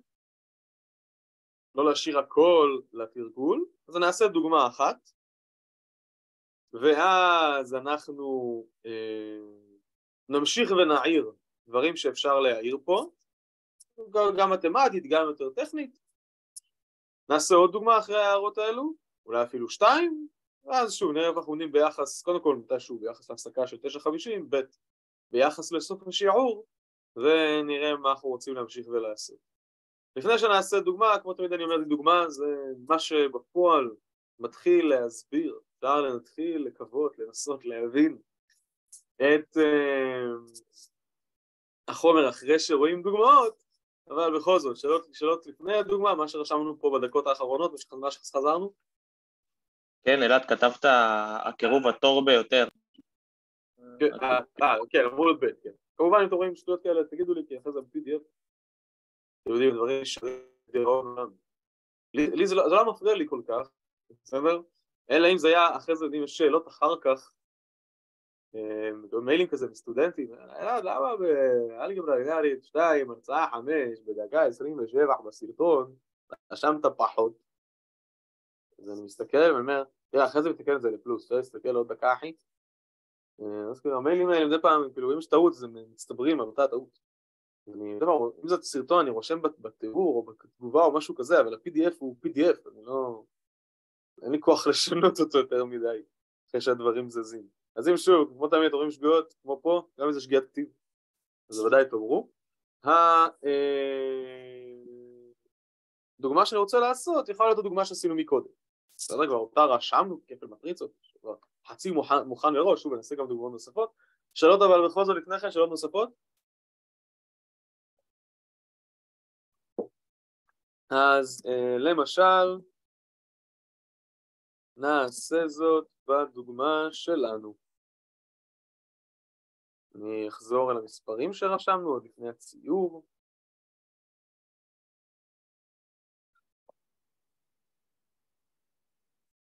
כן, נחזור. נכפיל, כמו שהסברנו, את uh, שני האגפים במטריצה המשוחלפת, הטרנספוז, של מטריצה המקדמים. כלומר, אני מכפיל את זה בטרנספוז של זה, שזה כאילו בשורות, כן? אז המטריצה טרנספוז של זה, שנייה אני אדביק ואז נשים אותה בשני הצדדים, היא בדיוק הפוך, כלומר יש לה שתי שורות וארבע עמודות, ולא הפוך כמו המטריצה שלנו. ושוב, שורה הופכת לעמודה, אז השורה הראשונה של הטרנספוז זאת העמודה הראשונה של המטריצה, שזה 1, 2, 3, 4, והשורה השנייה של הטרנספוז זו העמודה השנייה של המטריצה, 1, 1, 1, 1. ולהכפיל מטריצות שאנחנו אמורים לדעת, בסדר? אז תראו שאני עושה את זה כפי שצריך, כמו שצריך מה שנקרא. המטריצה הזאת היא מטריצה 2 על 4, המטריצה הזאת היא 4 על 2, המטריצה שיוצאת אמורה להיות, היא גם תהיה כזאת, 2 על 2, אני אעשה את זה בראש, תראו שאני עושה את זה נכון. שורה כפול עמודה, שורה כפול עמודה, ככה עם הכירוגרפיה הזו של האצבעות. אז באיבר הראשון 1 כפול 1 ועוד 2 כפול 2 ועוד 3 כפול 3 ועוד 4 כפול 4 זה 5 ועוד 25, אם אני לא משקר זה 40 אז תראו שאני עושה את הדברים נכון ואני משקר, נכון? 39 או שזה 40? רגע, 16 ועוד 9 זה 25 ועוד 4 זה, זה 30, זה לא 40 אבל שוב, תראו שאני מחבר את המספרים כמו שצריך. 1 כפול 1 ועוד 2 כפול 2, 3 כפול 3, 4 כפול 4 זה 10 ו-10, לא 19 ואותו דבר פה זה 10 וכאן יוצא 1 כפול 1 4 פעמים שזה 4 אז זה כפול הוקטור AB שווה למה יוצא פה, בואו גם נכפיל ונראה, עכשיו זה וקטור, זה עמודה אחת עם שתי שורות. 1 כפול 5 ועוד 2 כפול 6 ועוד 3 כפול 6 ועוד 4 כפול 7 אם אני לא מפספס זה 63 אבל תראו שאני לא מפספס ו-1 כפול 5 ועוד 1 כפול 6 ועוד 1 כפול 6 ועוד 1 כפול 7 זה 24 וקיבלנו פה את המערכת הבאה מערכת 2 על 2 כל אחד שיפתור אותה אולי אפילו בשורה נפרדת איך שנראה לו. כמובן שאפשר לקחת את המטריצה הזו לדרג, לדרג קנונית. נראה לי נראה לי חרם אפשר פשוט לבודד ולהציב אבל אפשר לדרג, כן? אני לא, לא פוסל ולא שולל לכל אחד שיפתור באמת שבא לו אבל הרעיון הוא שוב, אחרי שאני מתאר את הסיטואשן כמכפלת מטריצות A כפול X שווה B אני מכפיל בטרנספוז מקבל מטריצה מערכת בכלל חדשה פה זה 30A ועוד 10B שווה 63 ו-10A ועוד 4B שווה 24 ואותה אני צריך לפתור זה, זה כאילו כל הסיפור ברמה הטכנית יכול להיות שהמערכת שאני אקבל תהיה קצת יותר גדולה, אמרנו שלושה משתנים, אבל הרעיון הוא אותו רעיון. באמת זה, זה הרבה יותר קצר מלחשב אה, היטל ולהשתמש בשביל לא לעשות גרם שמיט או משהו כזה. לא ששוב, כמו שהערנו מקודם, לא שזה לא אפשרי, בהחלט אפשרי. אבל אה, זה יותר בוודאי פשוט לעשות זאת ככה. אה, מה עם הפתרון של המערכת? מישהו פתר? מן הסתם לא, כן? אז אם בכל זאת אני אעשה את זה ככה ידנית, אני, אם נחסר את השורה השנייה שלוש פעמים מהראשונה, ללכת עם פעולות שורה להרגיש בלי, אנחנו נקבל אמ, A הולך לאיבוד, 10B B שווה פחות ל-2, 12B זה מינוס 2B, ו-63 פחות, כמה B שווה? 72 נראה לי. לא, זה תשע. 63 פחות 72, זה. מינוס 9. בוא אז B שווה 4 את זה אני מציע לך משוואות ומוצא גם את אה, A.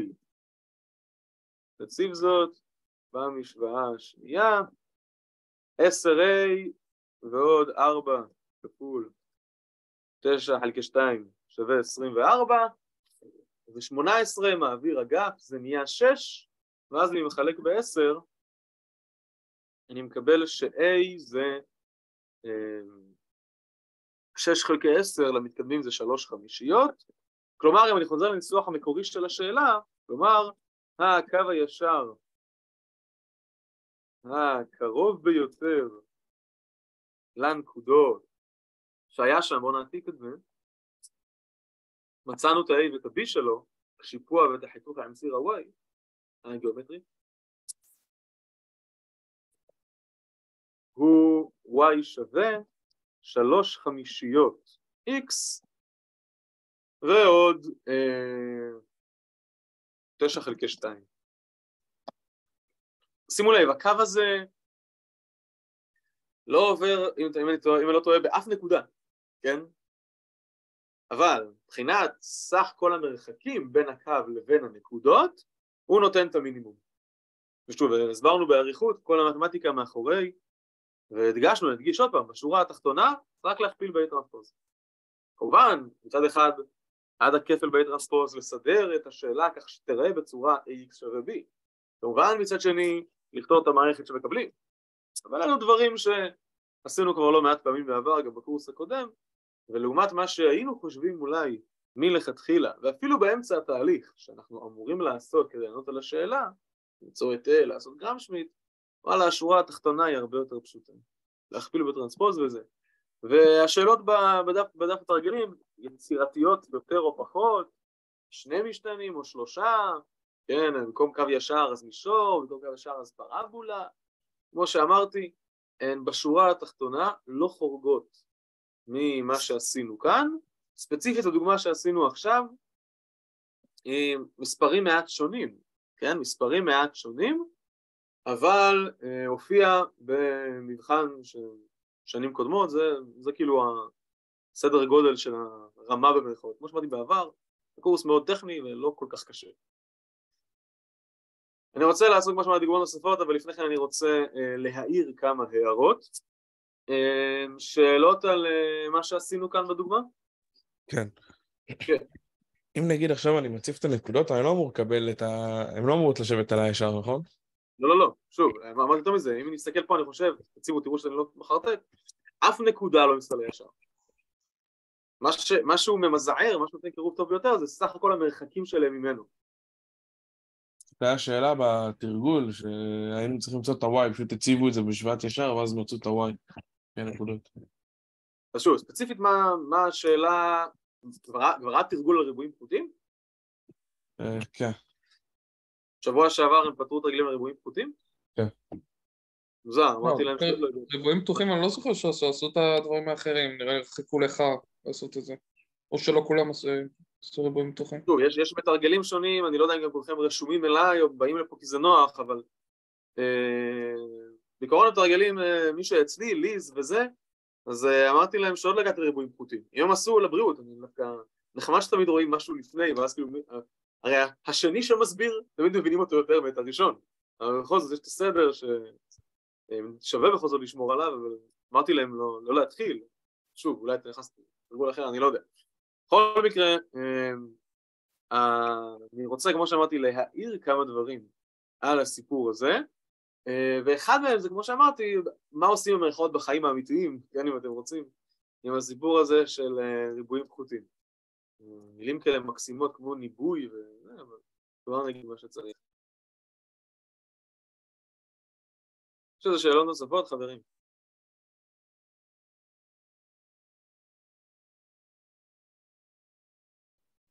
כנראה שלא. אוקיי, אז אני רוצה, כמו שאמרתי, כמה, כמה הערות. פרסות על כמה אה, תחומים. קודם כל מבחינת ניסוח, בסדר? הקירוב הטוב ביותר אה, פתרו את בעיית הריבועים הפחותים הבאה וכו' כל השאלות האלה עוסקות בריבועים פחותים. צריכים לעשות מה שתיארנו כאן. זה דבר ראשון, בסדר?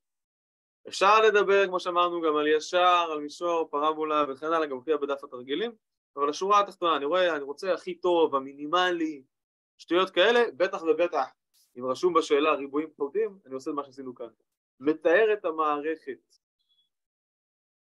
כ-AX שווה B, מכפיל ב-A טרנספוז ופותר. בואו גם נרשום את זה בסעיף שני, אה, ויש לפתור אותן בדרך שתיארנו, ונסכם בסעיף הבא. שתיים, אה, סד"פ ריבועים פחותים.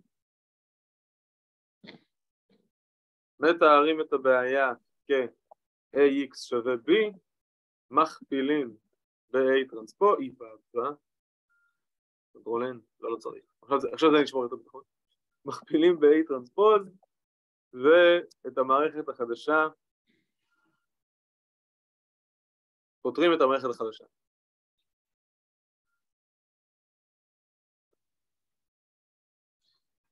בסדר? זה דבר שני שרציתי לומר. דבר שלישי, אם כבר אז כבר שאלות שואלים ועכשיו העליתם כזה, וזה מופיע בדף רגלים, גם בתרגול אה, אמורים לפתור את זה, זה מה אפשר לעשות הלאה עם ריבועים פחותים. פה ספציפית תיארתי על קו ישר, אז אני מכניס את זה עם קו ישר, אבל אה, אפשר לעשות דברים כאילו מסוים יותר מתקדמים ככל שיותר משתנים ויותר אה, השוואות, ובכלל, ככלל, ריבועים, אפשר לחשוב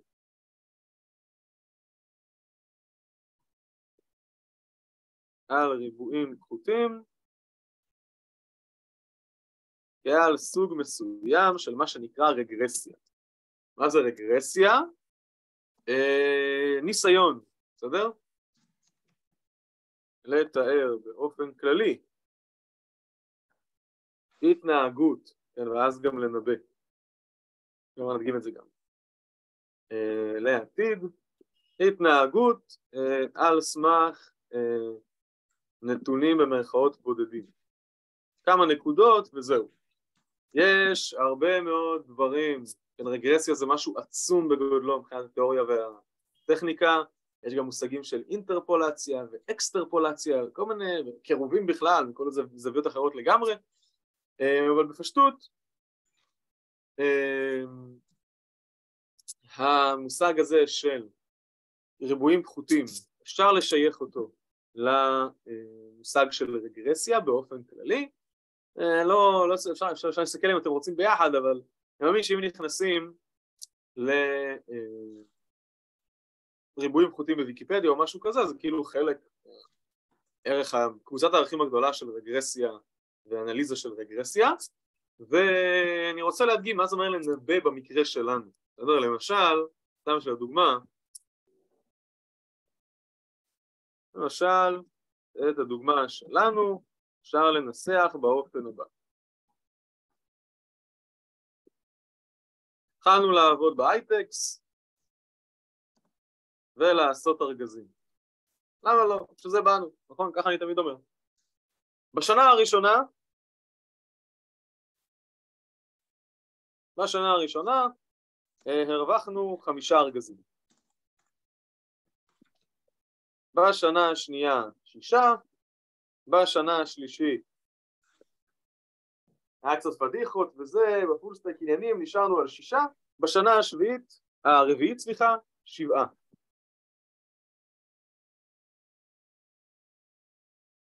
בואו ניתן ניבוי, ננבא במרכאות, בסדר?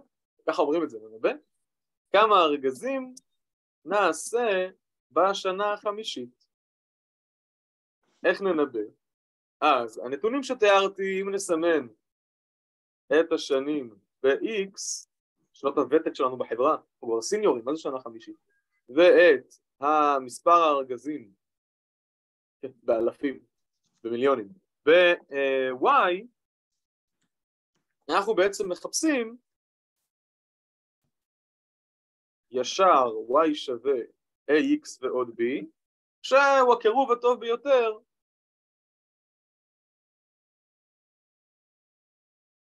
אה, למה שתיארנו פה כאן, כן, לעבור בשנה הראשונה להרוויח חמישה ארגזים, בשנה השנייה להרוויח שישה ארגזים, וכן הלאה. מה זה? שאלות? סורי, השתלתי. אה, אוקיי, בריאות. אמ, אה, גם אני פה, כל אחד איתנו וזה, עוד אני צועק אבל גם תוך כדי. הקירוב בשלב הראשון שלנו, 1, 5 וכן הלאה, וכפי שראינו מדובר בישר הזה.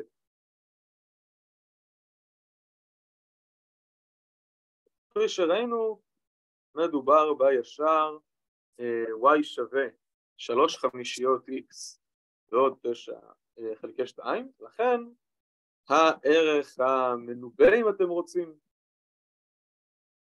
למספר הארגזים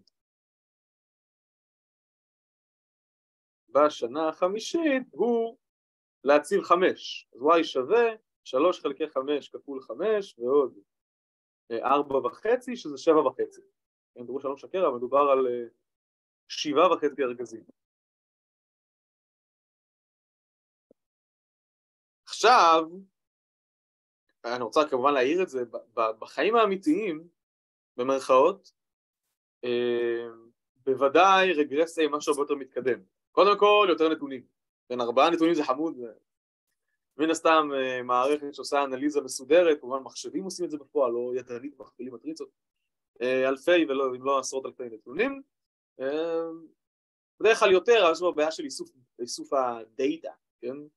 האם זה משהו שאונליין, אפשר לעשות מיליונים, אפשר לעשות כאילו חברות ה-corporations מה שנקרא, פייסבוק, גוגל, whatever, הם יש להם מיליארדים של מיליארדים על נתוני דאטה, כן, והם עושים מה שצריך לעשות, כל אחד והשטויות שלו, הם מוצאים לך בדיוק את הפרסומת הנכונה, בדיוק את הסרטון הבא שאתה רוצה לצפות בו, וכן הלאה, הם מנבאים מאוד טוב, הם מנבאים מאוד טוב את uh, מה, ש, מה שאנחנו רוצים שיקרה בהמשך, uh, זה טוב, כן, אנחנו לא... לא אומר את זה כדבר רע, להפך, אבל יש להם את היכולת, גם הטכנית וגם מבחינת הידע שנגיש להם לעשות את זה. כמובן יש דברים שלא ממיני עניין, כן, כולם יודעים שהם, המיקרופונים שלהם פתוחים, שומעים אותנו מדברים, ואז מוצאים את הפרסומות המתאימות, יש להם הרבה אנשים שהם לא מתמטיקאים או סטטיסטיקאים שעושים את זה, כל מיני uh, מדעני התנהגות, ונכון, אנשים שבקיאים בדעת הקהל וכן הלאה, עם צוותים גדולים שיושבים ביחד עושים את הניבוי הנכון, אבל אותנו מעניינת המתמטיקה עצמה. אז במתמטיקה עצמה אני אומר, קודם כל, בחיים האמיתיים צריך הרבה יותר נתונים כדי לקוות שהניבוי יהיה תקף. חוץ מזה צריך להתייחס לתחומים, מה לעשות, שהם לא מתמטיקה. פסיכולוגיה, כלכלה, you name it. דבר שלישי, הקירוב בדרך כלל שעושים הוא לא קירוב ליניארי, הוא לא קו ישר, זה קירוב מאוד מאפן, אלא הוא משהו הרבה יותר עדין. אם, היית, אם הייתם מרשה לכם להתעקם, כלומר לעשות נגיד פרבולה של x בריבוע, הייתם יכולים לעשות משהו שעובר יותר קרוב לנקודות, מאשר תמיד להיות קשיחים וקו אחד ישר. אם אתה עושה לכם פולינום מעלה שלישית, יכול טיפה להשתנות, רביעית, חמישית, שישית וכן הלאה. תכלס פולינום מעלה שלישית, אפשר למצוא אחד שעובר בכל הנקודות. כן? קו ישר שהוא מעלה ראשונה עובר בשתי נקודות. פולינום ממעלה שנייה יכול לעבור בשלוש. כלומר, בהינתן שלוש נקודות אפשר למצוא פולינום מעלה שנייה שעובר בהן. בהינתן ארבע נקודות, זו פולינום מעלה שלישית, וכן הלאה. אז בפועל גם קירובים uh, טובים יותר, שוב, מבחינה מתמטית, לוקחים יותר נתונים ונותנים משהו עם מעלה גבוהה יותר. מזכיר מה שסמסטר קודם, נכון, זה פחות הלו"ז שלכם, אם לא אז תקנו אותי, מדברים על טיילור באינפי אחד. כן, ככל שאני מוסיף יותר איברים לפיתוח, הקירוב טוב יותר. ככל שהפולינום עם מעלה גבוהה יותר, יש לו את היכולת להתעוות יותר ולעבור קרוב יותר ליותר נקודות. אה, ולכן אני אומר, סתם כי כשאלה, דוגמה לניבוי, אז אם רוצים לעשות משהו ליניארי על סמך ארבעה נתונים, אפשר uh, לעשות משהו כזה. בחיים האמיתיים זה מאוד מאוד גס, אף אחד, כשעושים באמת ריבועים כאלה אמיתיים, אף אחד לא עושה את זה ברצינות, כן, היום כל, כל הזמן האינפלציה משתוללת וכן הלאה, אז כל הכלכלנים והסטטיסטיקאים של בנק ישראל וכל שווקי העולם, הם עושים דברים הרבה יותר מתקדמים מזה. אבל השורה התחתונה היא אותה שורה תחתונה. יש לי נתונים, שוב, הרבה מעט זה כבר שאלה טכנית. אני בונה מהם איזושהי משוואה, איזשהו קשר, הרבה מעט זה כבר שאלה אחרת. ואז אני משתמש במשוואה הזו כדי להציב בה ערכים שאין לי בנתונים באמת, ולתהות ב-ה' אמ, מה אמור להיות כשאני מציב x מסוים ערך ה-y שלי. בסדר? אז ריבועים פחותים זה דוגמה לתופעה, אה, כן, זה שוב, קצה הקרחון המתמטי של רגרסיה בפרט וגם בכלל. שוב, מה דברים כמו אינטרפולציה, אקסטרפולציה, יש כל מיני דברים נוספים שאפשר uh, לעשות איתם.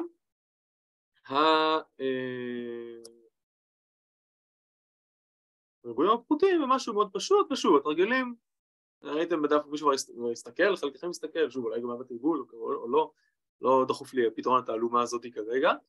אז יש שם תרגילים כאלה, כן? תנבאו מה יהיה בשנה הזאת, מה יהיה בסמסטר הזה וכן הלאה, לא זוכר את הניסוח המדויק של התרגילים, על סמך משוואת קו הריבועים הפחותים, מישור הריבועים הפחותים, פרגולת הריבועים הפחותים, you name it, שהפקתם בסעיף הקודם. אז קודם כל, זו שאלה נוספת, שזה הערה נוספת שרציתי להעיר, בסדר?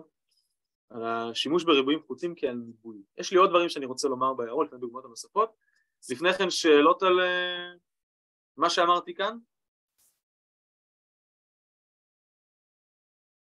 אני לא, אני רק אוסיף ואומר שככל שאני מכיר את התואר במדעי המחשב, אני לא חושב שעושים משהו כזה רציני. אה, נראה לי חבל, רגרסיה קצת וניבוי וזה, זה משהו שנראה לי איזושהי יכולת שברמה כזו או אחרת צריכה להיות, בסדר? אה, שאלות בכל זאת? אני רוצה להגיד עוד, כמו שאמרתי, עוד דברים, יש פה משהו מה להגיד, אני גם מחלק את זה לחתיכות. זה קודם כל טכני לחלוטין, זה הערה לחיים הביתיים אם בא לכם. דבר נוסף, גם שקשור גם וגם וגם. הפתרון שלנו הוא לא פתרון, כאילו למערכת ה-X שווה B אין פתרון, הוא הקירוב הטוב ביותר. שאלה מתבקשת, שוב, מזכיר מה שאמרנו בטיילור באינפי אחד על קירובים, כמובן מצד אחר מתמטי די, די לגמרי, אבל אה, בהחלט המינוחים והניסוח דומים. אפשר לשאול מה השגיאה, בסדר? אחרי שמצאנו את הקירוב הטוב ביותר, אפשר לשאול מהי השגיאה, הטעות, הפער, מהי אה, הנורמה של AX פחות B. זו שאלה שאפשר לשאול כאילו, ואז אנחנו בפועל צריכים אה, לעשות את זה. כן, אחרי שמצאנו את, אה, אה, למשל בדוגמה שלנו,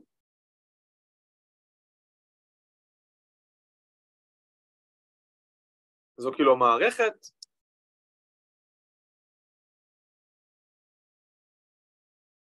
כאן כאילו המטריצה A זה כמובן הדבר הזה והוקטור X שמצאנו מבחינת הקירוב הטוב ביותר היה שלוש חמישיות וארבע וחצי. כן, אז כאילו הוקטור x, הקירוב הטוב, זה אה, שלוש חמישיות וארבע וחצי, וכמובן b זה הוקטור הזה, ולכן הוקטור ax פחות b זה הוקטור אה, זה כפול זה פחות זה. אני אעשה את זה בראש, תראו שאני לא משקר. אוי לא, זה עם חמישיות וזה. בואו נעשה מכנה משותף 10, שיהיה לי קל יותר לעשות. אז יש פה 6 חלקי 10. וכאן יש 45 חלקי 10, כמובן ש... יש לנו מחשבון וזה, לא חייב לעשות את השטויות האלה, אני אעשה את זה פה בשלוב, אז שיהיה לנו. ax פחות b, 6 אה, עשיריות ועוד 45 זה 51 חלקי 10 פחות 5 זה משאיר אותנו עם עשירית זה רשום יפה בווקטור השני יש לי 12 ועוד 45, כל זה חלקי 10, כן? שזה 57, פחות 6 שזה, שזה 60, זה מינוס 3 חלקי 10. בווקטור השלישי, 18 ועוד 45 זה 63, פחות 60 חלקי 10. אז זה יוצא עכשיו 3 חלקי 10. ואחרון, 4 כפול 6 ועוד 1 כפול 45, 24 ועוד 45 זה 69, פחות ה-70, שוב, בהנחה שאני לא מפסס שאני רוצה את הדברים האלה בראש, זה מינוס עשירית, ולכן השגיאה שלנו, הנורמה של הדבר הזה, ולא נקרא בסוגריים שרואים, גם פה אני משקיע, זה שורש עשירית בריבוע. אלעד, זה לא אמור להיות תשע עשיריות באיזה רכיב? באחרון? 4 כפול 6 זה 24, ועוד 45, כפול 1 כאילו. 24 ועוד 45 זה 69, נכון? פחות 7, שזה כאילו 70 עשיריות, אז 69 פחות 70 זה מינוס 1. שוב, אתה רואה שאני לא טועה גם כשאני רואה את זה עוד פעם. ועוד 3 עשיריות בריבוע, ועוד מינוס עשירית בריבוע. טוב, מה יוצא פה? יש פה כאילו הכל חלקי 100, בסך הכל יוצא פה שורש 20 חלקי 10, משהו כזה, שורש חמישית כאילו. תראו שאני לא מרמה, אני עושה את הדברים האלה בראש, אם זה יותר מדי. אה, שורש חמישית, זה משהו בין אה, חצי לשני שליש, נכון? משהו כזה. אה, לא, לא גדול, תחשוב מספרים, כן, מספרים זה 4 ו-7, אז הפער הוא קצת יותר מחצי. זה לא קטן אבל, כן? זה לא הרבה ספרות אחרי הנקודה. מה שאני בא להעיר פה, זה קודם כל אפשר להגדיר את המושג של שגיאה, והנה ההפרש, וברמה הטכנית, אחרי שפתרתם שאלה על הריבועים כפותים, אפשר לשאול מהי השגיאה. אז צריך לחשב את הנורמה של ההפרש. שוב, תראו שהמספרים נכונים, כי עשיתי בראש את המדינה. שאלות על אה, מה שרשמנו כאן? אז מה תכלס השורש חמישית אומר? מה זאת אומרת שגיאה? זה השגיאה. הפער, כן, אם בא לך בסך הכל, בין הקו, במקרה הגיאומטרי הזה, הקו הישר נתנו בכללי, בין הפתרון שמצאנו לבין הפתרון במרכאות האמיתי שלא קיים, זה אמור להיות אפס הרי, ואז יש פתרון, אבל אין. הגיאומטרית, שוב, לא תמיד אפשר להמחיש, נכון? ספציפי, בדוגמה של הקו הישר, אפשר להמחיש גיאומטרית, המרחקים של הישר אה, שמצאנו מהנקודות, שוב, מרחקים בריבוע, לא נכנס בדיוק כרגע איך, אפשר להגיד אינטואיטיבית, לא ניכנס פורמלית, שהם מסתכמים לכדי הדבר הזה. אלעד, המטרה שלי שהמספר בסוף יהיה כמה שיותר קטן. כן, אבל שוב, זה מה, ש... מה שעשינו לאורך כל השעה הראשונה וקצת מהשעה הזאת בהתחלה, מבטיח את זה. זה שבשורה התחתונה אני מכפיל ב-A טרנספוז, נותן לי את ההיטל שהוא המרחק הקטן ביותר, שזה גם עוד דיברנו בהרצאה הקודמת, כן? כל המתמטיקה שעשינו פה בעצם מובילה לכך שהשורה התחתונה היא יחסית פשוטה, כמו שאמרנו, לפעול בטרנספוז ולפתור מה שמקבלים. סגור, תודה. אלעד, עוד שאלה. כן. איך x מצד אחד 3 חלקי 5 ו-9 חלקי 2 הופך ל-6 חלקי 10 ו-45 חלקי 10? אמ, זה עשיתי מכנה משותף, לא? 3 חלקי 5 זה כמו 6 חלקי 10, זה אותו שבר, ו-9 חלקי 2 אה, זה אותו שבר כמו פה, עשיתי 10 שלי קל לעבוד איתו. סבבה. אתה עושה יותר מחשבון, זה מה שאתה רוצה. שאלות אה, נוספות, חברים?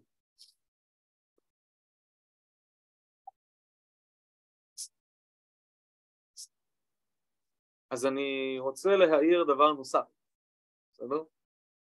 אה, יש לנו מספיק דברים להעיר פה, ואז שוב, נצא להפסקה לפני כן, אה, אני רוצה לעשות כמו שאמרתי עוד דוגמה או אפילו עוד שתיים. אני לא יודע אם צריך את כל השעה ומה שנשאר ממנו, השעה הזו והשעה הבאה, בשביל ריבועים פחותים, אולי נצליח, נוכל כבר להתקדם הלאה. אה, אני רוצה להגיד את הדבר הבא, תראו, הערה יותר מתמטית. כמו שדיברנו במתמטיקה, דוגמה וקצת יותר טכנית, הערה על החיים עצמם במירכאות, עכשיו שוב הערה מתמטית. אה, למה הערכת, כן, מה, מה, מה בעצם עשינו? מה בעצם עשינו? מהמערכת AX שווה B חסרת הפתרון, הגענו למערכת A טרנספוז AX שווה A טרנספוז B, שלה יש פתרון.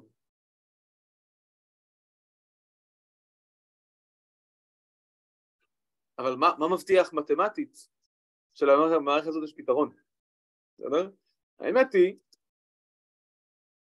ששום דבר לא מבטיח מתמטית שלמערכת החדשה יהיה פתרון. לכן, כמו שאמרתי לכם כשהתחלנו, אנחנו בפועל דורשים עוד איזשהו תנאי על המערכות שלנו, שאנחנו פותרים, כדי שנוכל להשתמש בריבועים פחותים. בפועל זה לא אמור להיות אחרת, כן, כל השלוש שתקבלו ריבועים פחותים, מן הסתם אפשר לפתור באמצעות ריבועים פחותים, אז לא היה דחוף לי להזכיר את זה תוך כדי ההתעסקות, אלא רק עכשיו. אז בפועל אנחנו מוסיפים דרישה על המטריצה A כדי שלמערכת החדשה A טרנספוז A כפול X, A טרנספוז B אה, יהיה בוודאות פתרון ואז נוכל להשתמש בריבועים פחותים אז מהי הדרישה הזו על A? מה אפשר לדרוש על A כדי שבפועל ייתן לנו אה, מערכת עם פתרון אז אני חוזר לקורס הקודם פשוט דברים שגמרנו כנראה מן הסתם בקורס הזה מתישהו אולי בהתחלה שבוע הראשון אולי בתרגול ואולי לא הפיכות? יפה. אז כדי שלמערכת תהיה פתרון, אומרים פה טוב מאוד, למערכת יש פתרון, ושוב, פתרון כוונה יחיד, כן, אינסוף זה, לא בא לי אינסוף טוב למצוא מישהו אחד, הכי טוב, אני אגיד יותר מזה, אנחנו יודעים שיש אחד, יש את ההיטל, הוא הקירוב הטוב ביותר, והוכחנו את זה, שוב, שבוע שעבר. אז אני רוצה שיהיה פתרון יחיד, וכמו שאומרים פה יפה, כדי שלמערכת משוואות יהיה פתרון יחיד, למטריצה שמייצגת אותה, מטריצת המקדמים, אה, סליחה זה בלי למד, המטריצה שמייצגת אותה, זה בה"א הידיעה, מטריצת המקדמים צריכה להיות הפיכה. אז כפי שאנו יודעים, כדי שלמערכת יהיה פתרון יחיד, רוצים שוב הקירוב הטוב ביותר, בה"א הידיעה משהו אחד כזה, לא אינסוף, למערכת יהיה פתרון יחיד, אה, על מטריצת המקדמים, במקרה שלנו זה A טרנספוז A, להיות הפיכה. פה ספציפית השתכנעו שאכן קיבלנו מטריצה הפיכה כשכפלנו, טיפה נראה למעלה נראה את זה טוב, זה מטריצה הפיכה, נגיד מטריצה יש בה שתי שורות, לא מסובך לראות שאחת היא לא כפולה של השנייה, אז המטריצה תהיה הפיכה. אמ, קודם כל, לא משנה מה היא A, המטריצה A טרנספוז A היא תמיד ריבועית כי זה שורות עם העמודות ונשאר לי אותו מספר. לפי הגדרות של תכף, מה זה? אמרתי כן, דרך הפינות, כאילו, ה-MN כל אחד איך שהוא משתכנע. ולכן יש מה שנקרא התכנות. יש, יש קרקע שעליה ההפיכות יכולה לצמוח אבל כמובן שזה מטריצה ריבועית לא מבטיח שהיא הפיכה.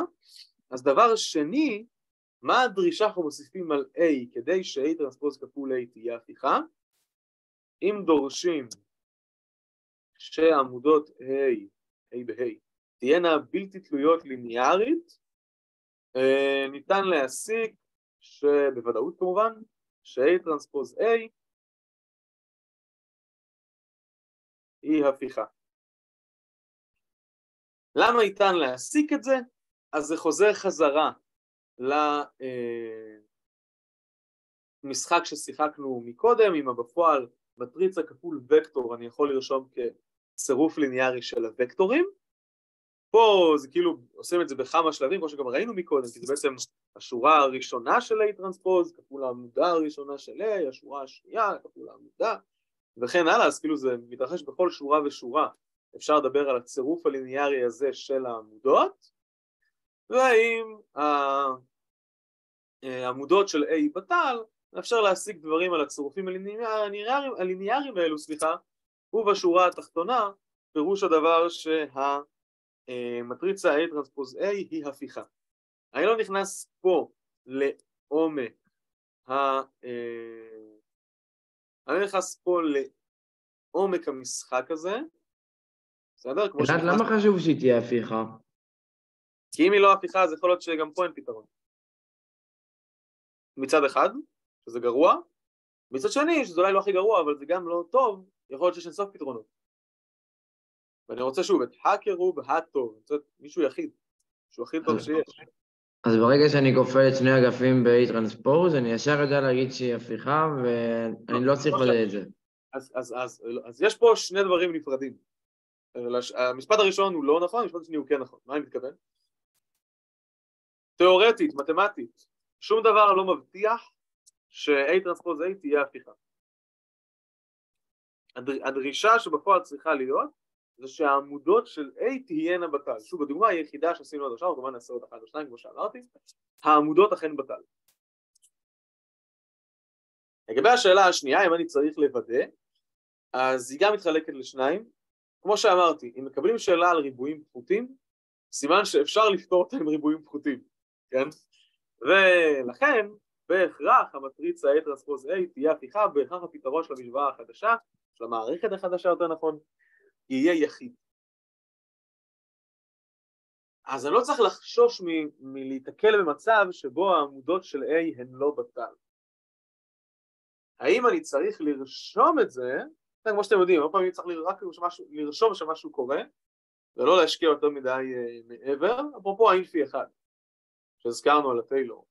הרבה משפטים שם, ערך הביניים, לגרנג', רול, אומרים הפונקציה רציפה, הפונקציה גזירה. מעבר ללהגיד את זה, אף פעם לא צריך להוכיח את זה. אבל כן צריך לומר, ולראות שאנחנו יודעים מה הדרישות המתמטיות של המשפט לפני שנשתמש בו. אז אני רוצה להגיד בשורה התחתונה שגם פה. לא צריך לדאוג מסיטואשן שבה בה העמודות של A לא תהיינה בתל. תמיד הן תהיינה, תמיד יהיה אפשר לפתור את המערכת. בפועל, אה, מבחינת כאילו מה, מה אני צריך לעשות, אז רק, רק להעיר את זה, אפילו לא לבדוק, כן? כי שוב, פה יש שתי עמודות, אחת לא כפולה של השנייה, יחסית קל לראות שהן בתל. יש לי חמש עמודות, עכשיו אני אבדוק תלות ליניארית, זה גם לוקח זמן, דירוג בלאגן.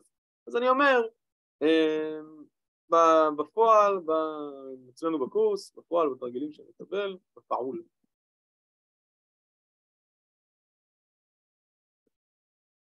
עמודות תהיינה בתל, לא מחפשים לריב, מדעי קורס לא קשה במיוחד, אה, ומעבר ל- לציין זאת, לא צריך לעשות יותר מדי. בקשר לזה. אבל כן להגיד, נראה לי, אם כבר אז כבר אז כן, להגיד, אה, נראה לי כדאי, אם כי לא, גם זה אפילו, נראה לי לא כזה חשוב, כי מה שבא להגיד, זה שבשורה התחתונה, כמו שכבר אמרנו, באריכות כל השעה, אז אנחנו מדברים בזה? הפתרון עצמו הוא מאוד פשוט. כן, לא רק שהוא טכני, גם גרשמיט זה טכני, אה, הוא, הוא גם קצר. הכל יחסי כמובן, כן, אבל מכפיל מטריצות, יאללה, פותר, שתיים על שתיים, שלוש, שלוש, פתור משוואות, זה לא בלאגן אטומי. אה, אז אם, אם כבר, כאילו, יודעים, מתרגלים לעצמנו, עבדנו פה קשה בהרצאה, שהפתרון הטכני יהיה יחסית קצר, אז ש... לתת הערת שיהיה לנו מודעות. משפט כזה פורמלי בהתחלה, כן, נכון? זה, יפה ולא רק אה, נרוץ מהר מהר. אה, אז זה מה שרציתי להעיר, אני, אני שב ואומר עוד פעם, זה לא משפט מובן מאליו, כן? כמו נגיד מקודם רשמנו, a כפול x תמיד צירוף ליניארי של העמודות. והיה שם מה להסביר, הסברנו. גם זה משפט לא מובן מאליו. בגלל שהסברתי זה רק הערה, בפועל זה לא כזה קריטי. אז אני, את זה אני לא, לא אכנס להסבר, אולי אם נעשה, אמרנו, פתח לי שתי דוגמאות, ואז נראה אה, אם אה, הזמן שנותר, אמרו לי שיש זמן, כן, זה דוגמאות לא ארוכות, בא לנו לנצל אותו, כן, להסביר את הטענה הזאת, שתחת הטענה של הקורס הקודם, אה, ואני אוכיח אותה, אם אוכיח אותה בכלי הקורס הקודם, או כבר להתקדם הלאה לנושא הבא. בכל אופן, אה, זה עוד חזון המועד, לפני כן יש שאלות על הדברים שתיארתי כאן?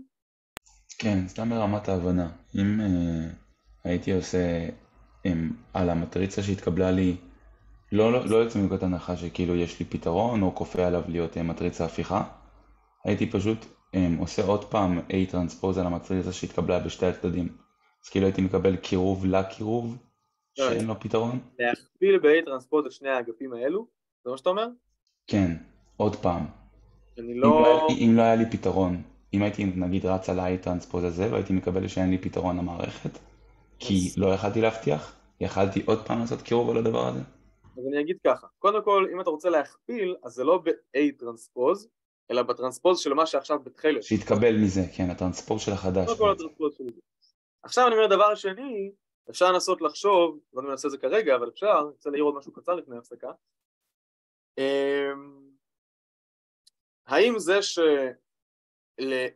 טרנספוז A היא לא הפיכה וזה שוב אומר משהו על הבאים. העמודות של A בטל, האם זה משהו שהוא בר תיקון באמצעות עוד מכפלה, או שברגע שהיא לא הפיכה, גם כשנמשיך להכפיל, זה ימשיך להישאר לא הפיכה?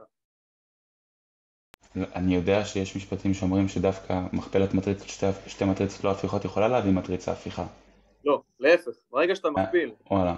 עד שהמטריצה היא ריבועית, מכפיל מטריצות שאחת מהן לא הפיכה, גם המכפלה בוודאות בהכרח- לא הפיכה, הבנתי, נכון, בוודאות. נכון, נכון, סליחה, סליחה. לכן בשורה התחתונה, אם באמת אין פתרון, זה נועד לכישלון, לפחות מהשיטה הזאת. כפל בעוד מטריצות לא ישפר את המצב. הבנתי, תודה. יש עוד שאלות נוספות, חברים? אז אני רק רוצה להעיר הערה אחרונה, נצא להפסקה לאחר מכן. אמ, זווית אחרת, להסתכל על הדברים. אנחנו רוצים אה, לפתור בעיית מינימום.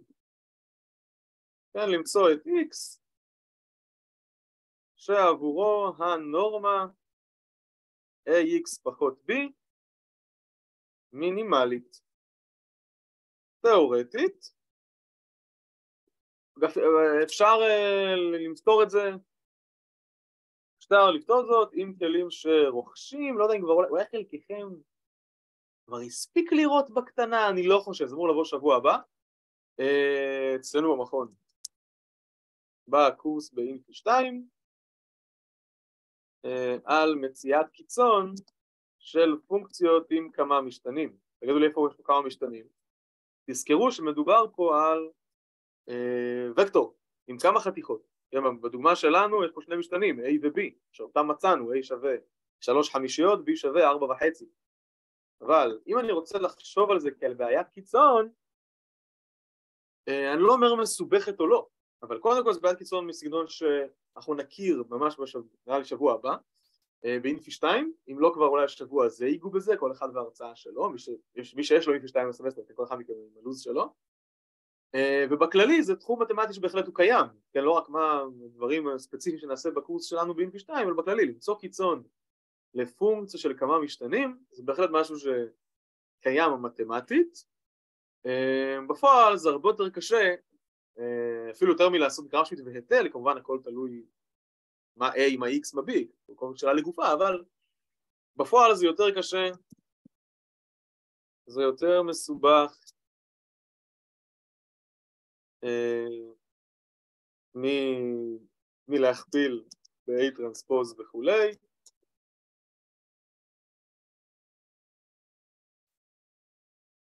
ואפילו יותר מסובך מלמצוא את ההיטל ידנית במרכאות עם גרם שמיט וכולי. אה, ולכן בחיים עצמם ספציפית לד- לדבר הזה אז לא נהוג לעשות אה, קיצון אלא בשיטות שתיארנו ושוב בחיים עצמם זה בפועל לא עושים את זה יותר מדי אלא משתמשים בשיטות קירוב ורגרסיה מתקדמות יותר.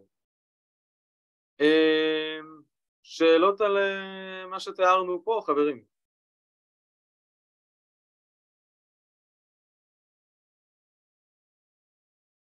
אוקיי, אז אה, בואו נצא להפסקה, כרגיל נפרגן לעצמנו בדקה או שתיים יותר מהזה.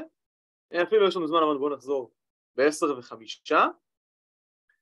נפסיק את ההקלטה אם אני לא...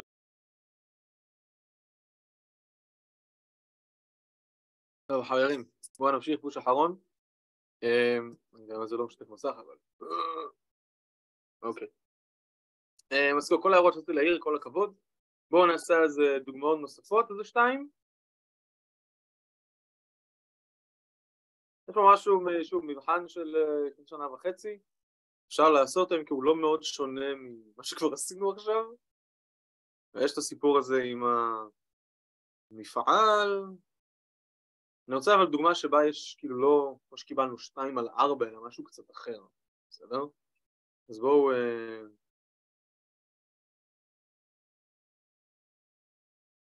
בואו נעשה דוגמאות קצת גדלים אחרים כאילו, זה מה שאני רוצה. ו... תאמרו לה, בתרגול יש מספיק לעשות גם חוץ מהשאלות האלה, אז יש פה... לא, כל זה ישרים פה, מה זה? זה חוזר על עצמו, כן?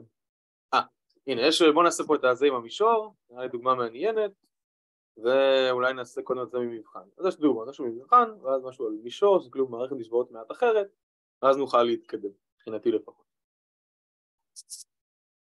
זה אני אומר, זה אה, א', מבחן משנת תשפ"א, אה, כלומר, אה, לפני שנה וחצי, זה לא היה לפני שנתיים, כמו שאני זוכר, כלומר, זה היה בסמסטר ב' תשפ"א, יוני-יולי כזה, 2021, בכל אופן, פיתרו,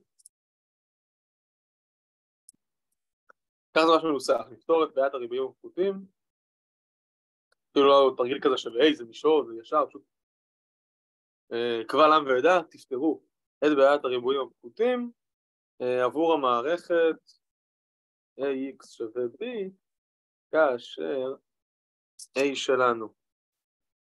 אוי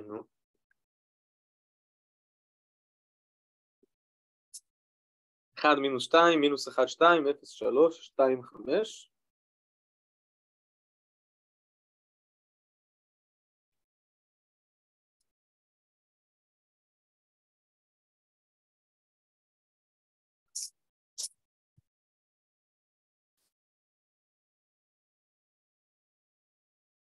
אפס שלוש ושתיים חמש. ו-B שלנו זה שלוש אחד מינוס ארבע שתיים.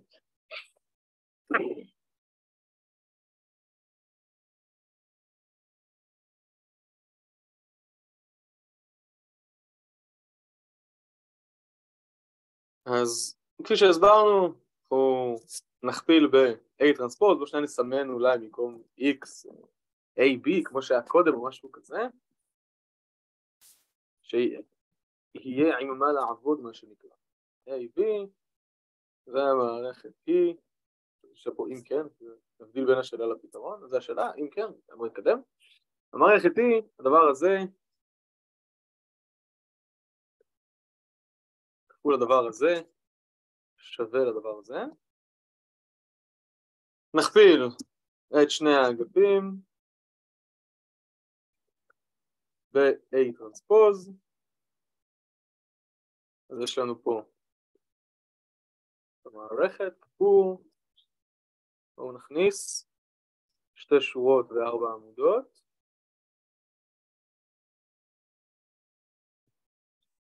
אה, אז שורה הופכת לעמודה, זה 1 מינוס 1, 0, 2, ומינוס 2, 2, 3, 5, וכך גם פה, מה נקבל? תראו שאני עושה את זה נכונה. אז שוב, זה אמור לצאת מטריצה ריבועית, זה, פה זה אותו הגודל כמו ב...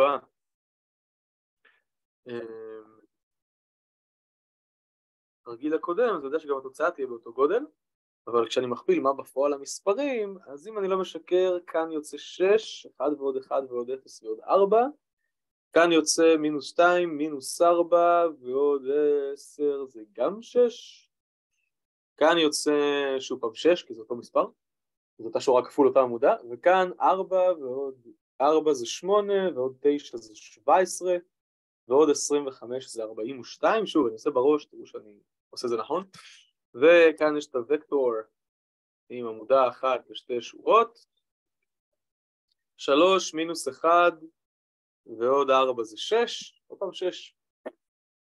מינוס 6, 4, לא, מינוס 4, מינוס 18, מינוס 8. זה בהנחה שלא לא שיקרתי שום דבר, וההנחה הזאת, כמו שאתם יודעים, איננה מובנת מאליה, אז תבדקו שאני אכן במקום הנכון. יש לנו כאן את המשוואות 6A ועוד 6B שווה 6, ו-6A ועוד 42B שווה מינוס 8. טוב, אז אפשר את ה... נפסר את השורה, השואה, את השורה הראשונה מהשנייה, ונקבל A מתאפס, B פחות B זה 36B, שווה מינוס 14, כלומר זה איננו מספר יפה מאוד, B זה מינוס 7 חלקי 18, כן, אחרי שאני מחלק ב-36 וטיפה מצמצם, תראו שזה מה שיצא. כן, רגע, רגע, עוד פעם. נראה לי זה מינוס 6 אלעד, לא מינוס 8. וזה 4, ואז מינוס 12, כן, זה מינוס 6, זה טיפה משפר את המספר, נכון? זה הופך אותו לשבר מצטמצם יותר. פה זה יהיה מינוס 12, זה יהיה פשוט מינוס שליש.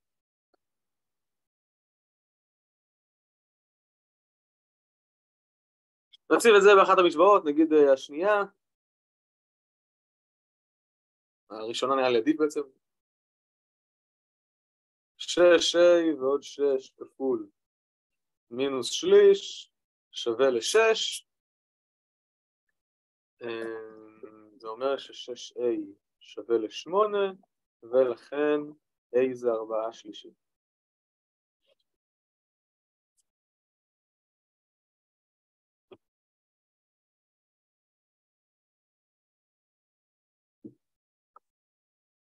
עד, תמיד A זה יהיה המקדם של X, נכון?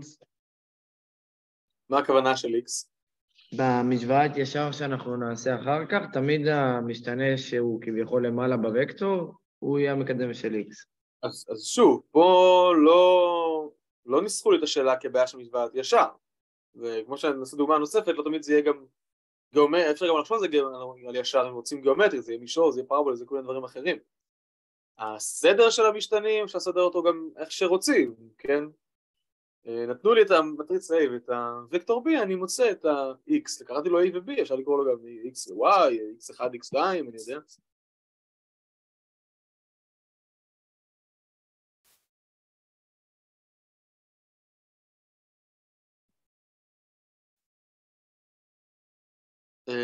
שאלות על... פה סיימנו את התרגיל כאילו? מה זה? פה סיימנו את התרגיל? כן, כמו שאמרתי, השורה התחתונה היא הרבה יותר קלה ממה שנראה מלכתחילה. אנחנו לא ממשיכים אבל כמו מקודם שרשמנו את ה-y שווה ax ועוד b? לא ביקשו ככה, לא ביקשו למצוא קו ישר, שוב, התרגיל הזה ככה מנוסח, תפתרו בעד ריבועים פחותים. זה מה שעשינו. רוצים לנסח את זה גיאומטרית? אפשר. רוצים להוסיף אחרי זה שאלה על בוא תנבא, מה קורה שהוא חמש, הוא שש, הוא עשר? אפשר. אבל השורה התחתונה של לעשות ריבועים פחותים, זה כבר עשינו, זה מה שביקשו, אז עשינו.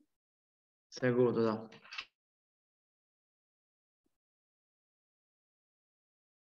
שאלות נוספות, חברים?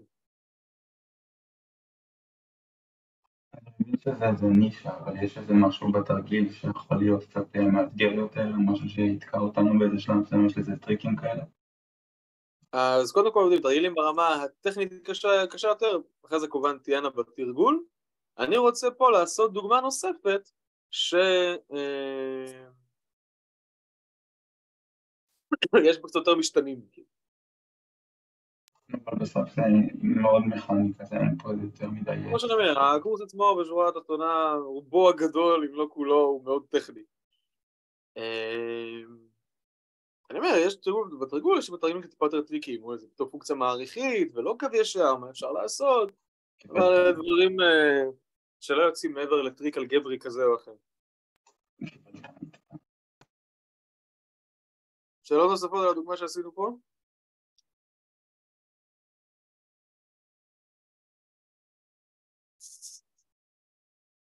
אני רוצה לעשות שוב דוגמה נוספת, זה אני לוקח מהדף הפעם. אין לי כוח להמציא דברים, למרות שאני יכול להמציא, זה לא כזה משנה. אה, בואו נמציא, בסדר. אז אה, זה יהיה ב', נתונות חמש נקודות במרחב, אפשר גם ארבע, שיהיה חמש הם ראשים.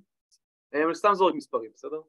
אחד, שתיים, אחד, אפס, אפס, אחת, אפס, שלוש, שתיים, מינוס אחת, מינוס אחד, שתיים, שתיים, ושלוש, אפס, חמש. אני מניח שבגלל שהגרלתי אותם רנדומלית, הן לא נמצאות על אותו מישור, בסדר? תאורטית אולי זה כן. יצאו, נמצא את משוואת המישור הקרוב ביותר לנקודות אלו. בסדר?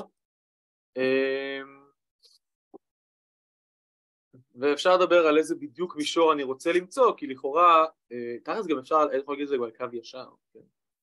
לא, לא כל קו ישר הוא מהצורה y שווה ax ועוד b, בוא נראה, יש קווים שהם המקבילים לציר ה-y מאונחים לציר ה-x והם לא נראים ככה, ובכללי, משוואה כאילו כללית לגמרי שמכסה את כל המקרים של קו ישר, אנחנו יודעים שזה משהו מהצורה a כפול y, b כפול x ועוד c, נכון? או משהו כזה.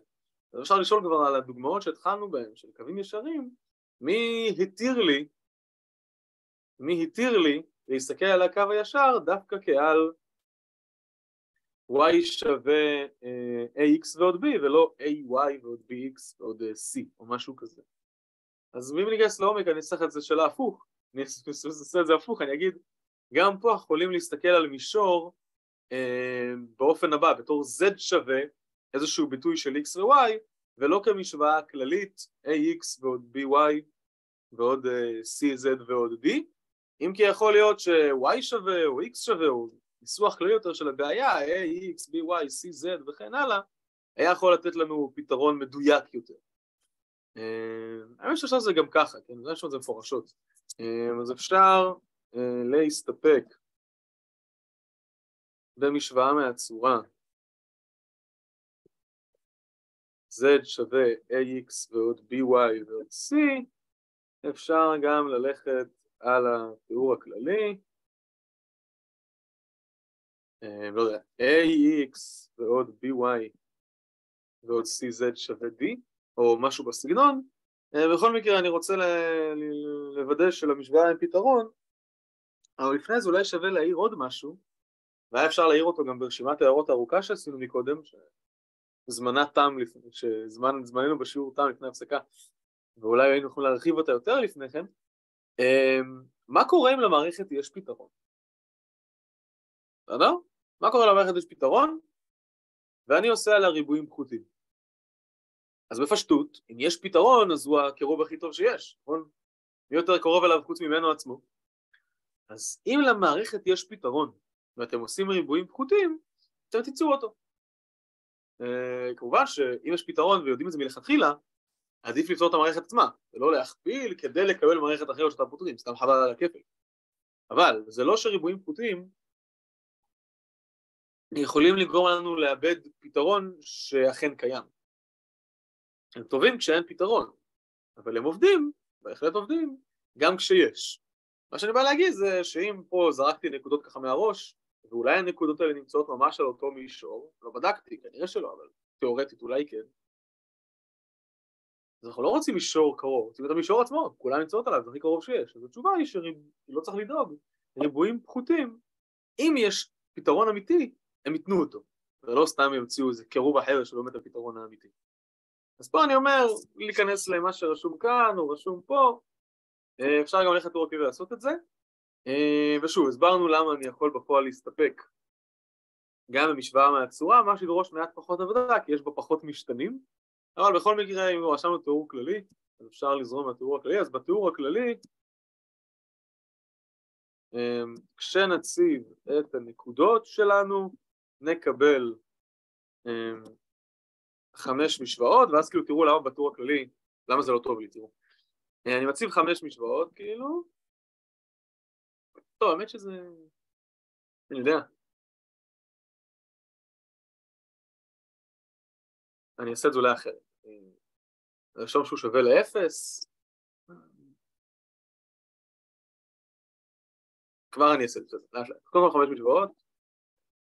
יש לנו פה, אולי נעשה את ה... ועוד d שווה אפס, יותר נוח להסתכל על זה ככה, תכתבו גם למה. אה, חסר לי אבל. רגע, סוגר המסולסל, שאני כה אוהב. פה אני אעשה ועוד d שווה אפס. אה, ויש לנו פה חמש משוואות. משוואה הראשונה זה להציב את הנקודה 1, 2, 1. זה תראו שאני לא משקר. A ועוד שני B ועוד C ועוד D שווה 0. המשוואה השנייה להציב 0, 1, 0. זה B ועוד D שווה 0. השלישית, 3A ועוד 2B פחות C ועוד D שווה 0. הרביעית, מינוס A ועוד 2B ועוד 2C ועוד D שווה 0. והחמישית, 3A, 0B אני לא רושם. ועוד 5C ועוד D שווה 0. אם אני בא ורושם את זה באמצעות כפל מטריצות, יש כאן מטריצה שהיא 5 על 4, והמקדמים שלה זה 1, 2, 1, 1, מה שרשמנו פה, 0, 1, 0, 1, 3, 2, מינוס 1, אי, למעלה ה page up הזה, אתם יודעים מה יעשה לי בסוף? טיפה נרד, שנראה את זה טוב. אחד, מינוס אחד, שתיים, שתיים, אחד, ושלוש, חמש, לא, סליחה, אפס, כי זה B, נכון?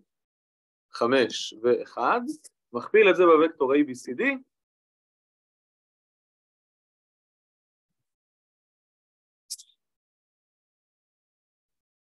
ומקבל וקטור שכולו אפסים. למה לא? לא מזיק. זו המערכת. אני כמובן אכפיל את שני האגפים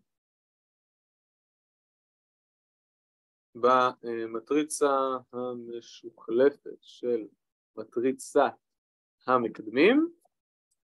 מה יהיה לנו פה? הפעם זה כאילו הפוך, נכון? זה יהיה ארבע שורות וחמש עמודות. כפול המערכת שלנו. אוי, מה זה? page up הזה? יש לריב. כמובן שבגלל שמכפילים באפס, לא יודע אם חשוב לי לרשום את זה גם בצד הימין, אבל נראה שזה מסודר. מטריצות הן תופסות מקום, מן הסתם ראיתם את זה ב-PDF, כמו שזה ייכנס לי בשורה אחת הכל.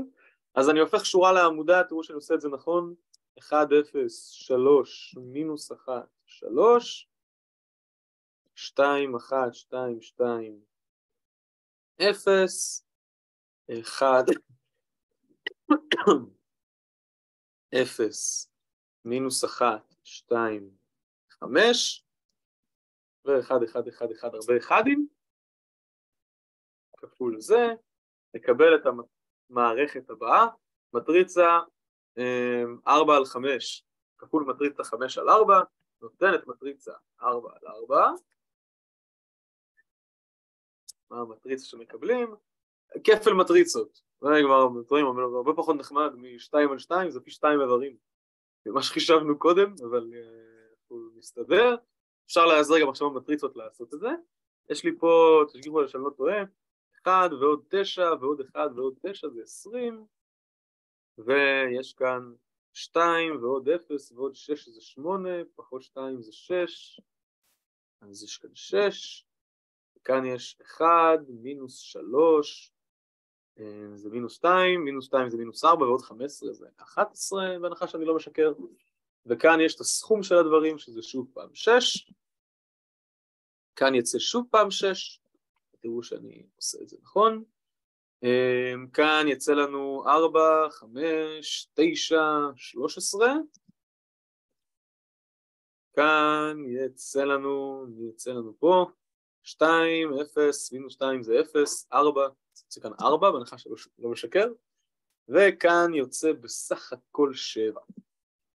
כאן יש לי 11, כאן יש לי 4, כאן יש לי 1, 0, 1, 4 זה 6 ו-25 זה 31, כאן יצא לי 7, כאן יהיה לי שש, אמ, לעומתו זה שבע, לעומתו זה שבע, ואחרון חביב זה חמש. בהנחה שלא טעיתי, הנחה מאוד לא מובנת מאליה. כפול הוקטור של האפסים, זה וקטור שכולו אפסים. אלעד, אתה יכול בבקשה להסביר למה זה כפול הוקטור של האפסים? על סמך מה ידעת שהמטריצת B הזאת אה, היא אפסים? שוב, זו, המ- זו המערכת כאילו, כן? זה הנתון כאילו בשאלה, היה רשום שם? לא, שוב, רצו למצוא משוואת מישור, נכון? ואלה הנקודות. כמו שעשינו מקודם עם הישר, כשהצבנו את הנקודות במשוואה הכללית, קיבלנו את המשוואות האלה. כן, אבל יש לך פה כאילו וקטור של שלושה ערכים וזה הרבה משתנים, אני לא מבין למה גם. אני יודע שזו שאלה מטומטמת. למה וקטור של... לא, למה- האחדים, האחדים בעמודה הרביעית סבבה, אבל למה זה שווה לאפסים? זה לא הבנתי, כאילו... שוב, המשוואות הן כאלו, זה שווה לאפסים. אה, איך- איך ידעת את זה בשאלה, אבל פשוט, איפה זה רשום? אז שוב, בשאלה רשום הדבר, הסיטואשן הבא, נכון? איך נראית משוואת מישור? לא שם, איך נראית משוואת מישור. אוקיי. עכשיו, כמו בדוגמה שעשינו מקודם, עם הקו הישר שעובר בנקודות, מה אני צריך לעשות? אני צריך להציב, אני צריך להציב את הנקודות שלי במשוואה כדי לקבל את המשוואות שאני רוצה לפתור. אני מציב את הנקודות במשוואה, אני מקבל את המשוואות האלו. מי נמצא לי מצד ימין? רק אפסים, ככה נראית משוואת מישור. אז מצד ימין נראה רק אפסים. אני כנראה פספסתי בזה טריוויאלי, אבל אתה יכול להסביר על השורת אחדים? זה פשוט כי אתה מחלץ את זה במשוואה? די די די די די, זה מה שקורה? כן, שוב, זה ככתיב של אה, מערכת משוואות סוג מטריצות, כן, מה שאנחנו מכירים מהקורס הקודם. אנחנו לוקחים את המקדמים, שמים אותם בשורות. כמובן אפשר ללכת הפוך, תכפילו את המטריצות, זו, זו וזו, אחת בשנייה, תקבלו את זה.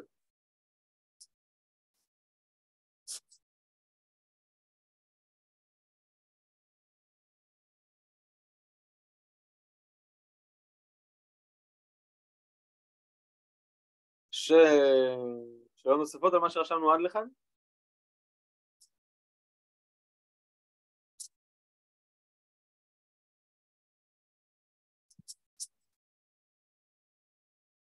עכשיו זו מערכת שאני צריך לפתור, כן?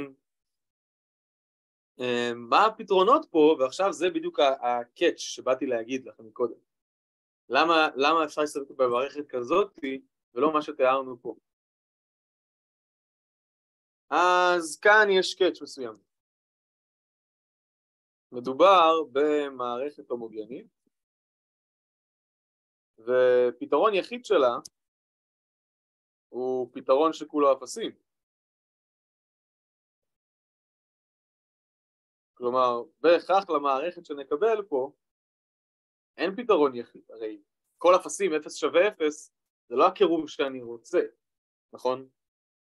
אה, ואפשר עכשיו, אם ממש מתעקשים, למצוא את הפתרון של המערכת הזאת. אה, ויהיה פה אינסוף פתרונות.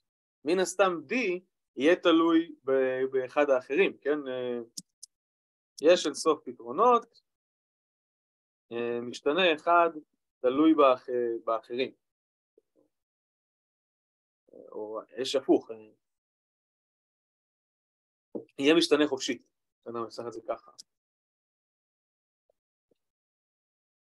עכשיו המערכת הזאת היא לא, לא כיפית, כן? אז אני לא, לא יודע אם בא לי לדרג אותה בעצמי ידנית, או שאני אעזר באיזשהו מחשבון אינטרנטי ואספר לכם מה יוצא, זה כנראה מה שאני אעשה. קודם כל, תשגיחו אבל כפלתי שם, אני מצאתי את זה נכון, זה גם לא מובן מאליו. אמ, אז אני אעשה solving systems of linear equations, בואו נראה את המערכת. 26, 11, 6, אתם מסתכלים על ה-X עדיין, כן? זה בסדר? לא צריך לראות אותי בעבודה השחורה. 6, 13, 4, 7.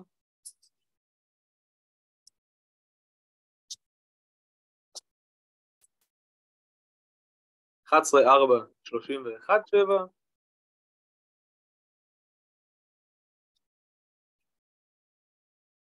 ושש, שבע, שבע, חמש.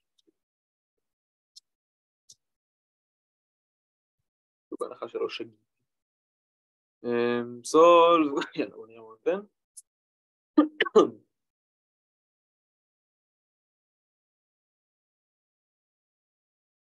טוב, נותן לב שהכל אפסים אז כנראה פשוט הייתי בכפל, או באיך שהעתקתי את המטריצה, שזה גם אה, בהחלט יכול להיות.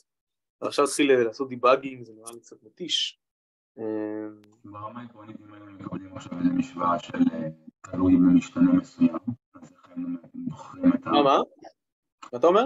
אם היינו, נצא מנקודת הנחה שהיינו מקבלים עכשיו את ה... הרי היה יוצא לנו איזה משתנה אחד חופשי, משוואה שבניה משתנה אחד או שתי משתנים, כמה משתנים חופשיים היה, נכון? אני אומר ככה, אם אני מסתכל על תיאור כללי, אין משוואה אחת שעושה את זה. הרי לאותו מישור יש אין סוף משוואות שונות. אני יכול, נגיד מצאתי ש-A, B, C ו-D כולם שווים 1, סתם בשביל הדוגמה. אני יכול לכפול הכל ב-20 ולקבל משוואה אחרת, כן, שהכל זה 20, אבל זה אותו מישור. לכן כשאני מסתכל על התיאור הכללי, אני יודע שמה שאני אקבל הוא בהכרח עם אינסוף פתרונות. יש אינסוף A, B, C ו-D שמתארים את אותו מישור. כולם, שוב, כפולה אחד של השני, תלויים ליניארית, אפשר לנסח את זה בהרבה אופנים בעברית, אבל בוודאי שאין פתרון יחיד. אה, עכשיו ספציפית פה, אה, הוא טוען שיש פתרון יחיד שאני מציב אותו, אה, וכמובן כולם מפסים כמו שכבר הסברנו, אז איפשהו כנראה בכפל טעיתי, אבל לא יודע אם בא לי עכשיו. לא, לא, אני פשוט מנסה לשאול, נגיד ועכשיו מצאנו את המחשבה אני לא שומע אותך טוב. אני אומר, אני מנסה לשאול, נגיד ועכשיו מצאנו את הפתרון, הוא הביא לך את הפתרון במחשבון, מה היינו עושים איתו? תרשום איזה מבנה של פתרון, לא באמת משנה. אז אני אומר, אתה רוצה למצוא A, B, C ו-D, אבל יש נגיד משתנה חופשי והשאר התלויים בו, בסדר? אה, נקבל למשל שהפתרון הוא A שווה 2D, B שווה מינוס 3D, C חייב להיות 0 ו-D חופשי.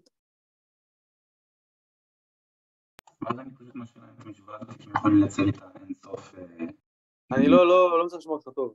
לא יודע, פתאום... אני אומר, ואז אני משאיר את המשוואה כמו שהיא, כי אז יש אינסוף קירובים איתה, או שאני עושה איתה משהו. לא, אז אני אומר, יש רק מישור אחד. המישור הוא מהצורה הבאה. A שווה 2D כפול X, B שווה מינוס 3D כפול Y, C שווה 0 ו-D שווה D, ועכשיו איזה D שתבחר זה אותו מישור. ושוב, לאותו מישור יש שלי. מה זה?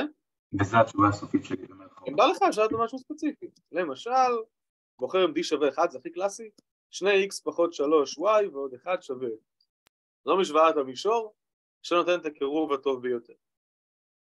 וזה בעצם אומר לי מאחורי הקלעים שכל המישורים האלה שאני מציב כאילו כל פעם אחד, שתיים, סקלרים שונים, הם במרחק מדויק, אותו טווח טעות מהמקום שאליו אני מנסה להגיע. לא, לא, אז שוב, אני מדגיש, יש פה מישור אחד, ספציפי. לאותו המישור יש אינסוף משוואות שונות שמתארות אותו. הבנתי, הבנתי, רק כן, גבולות סקלר אחת של השנייה. קיבלתי. עכשיו אני אומר פה ספציפית, נראה לי שהקלדתי נכון, בסדר, במחשבון המטריצות שבו השתמשתי, הוא טוען שיש פתרון יחיד, אז איפשהו פה בכפל, בתרגום לזה, משהו פה אה, התפקשש, אז אה, תבדקו בזמנכם הפנוי, מה שנקרא, איפה ה-so called פיקשוש הזה. אמ, השורה האחרונה נראית לי בסדר, ולכן גם העמודה. איזשהו באמצע אולי. 1, מינוס 3, מינוס 2. אה, נראה לי שאני יודע איפה, נראה לי שזה לא 11. רגע. אה, לא, זה כן 11? אה, כן. קורה באיבר הזה? שים אותה במחשבון הכפלה. אה, צריך להציב ידנית. כן, וזה אני מעט שבו מציב את זה ידני, אז מה עכשיו? אז שחרר את זה אליי, שטויות, זה פתרון, הבנו מה הפתרון. אה, בכל מקרה אני רוצה, לא, אני רוצה כן להמשיך ולהגיד, אה, אז אם כן, אה, בוודאי שעדיף מלכתחילה, מלכתחילה לחפש מישור מהצורה הזאת, סתם אמרתי z שווה x, כן, לא מבטיח שזה יקרה, מהצורה הזאת, ואז כאילו יש לנו רק שלוש משוואות. סליחה, יש רק שלושה נעלמים. ואז אה, יהיה פתרון יחיד, אה, יש רק שלושה נעלמים, כאילו אני מקבל את ה... אם אני מציב במשוואה הזאת את הנקודות שלי, אני מקבל את המערכת הבאה. אפשר לעשות להעתיק רק את זה. אז יש לנו פה אה, מה הנקודות. נעתיק אותם שגם לנו מול העיניים שנייה.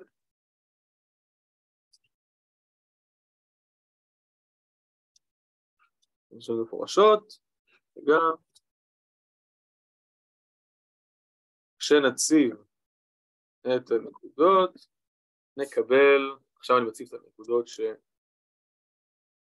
אני אשים שנייה פה, שנראה אותם, אבל הפעם המשוואה מהצורה הזאת, z שווה.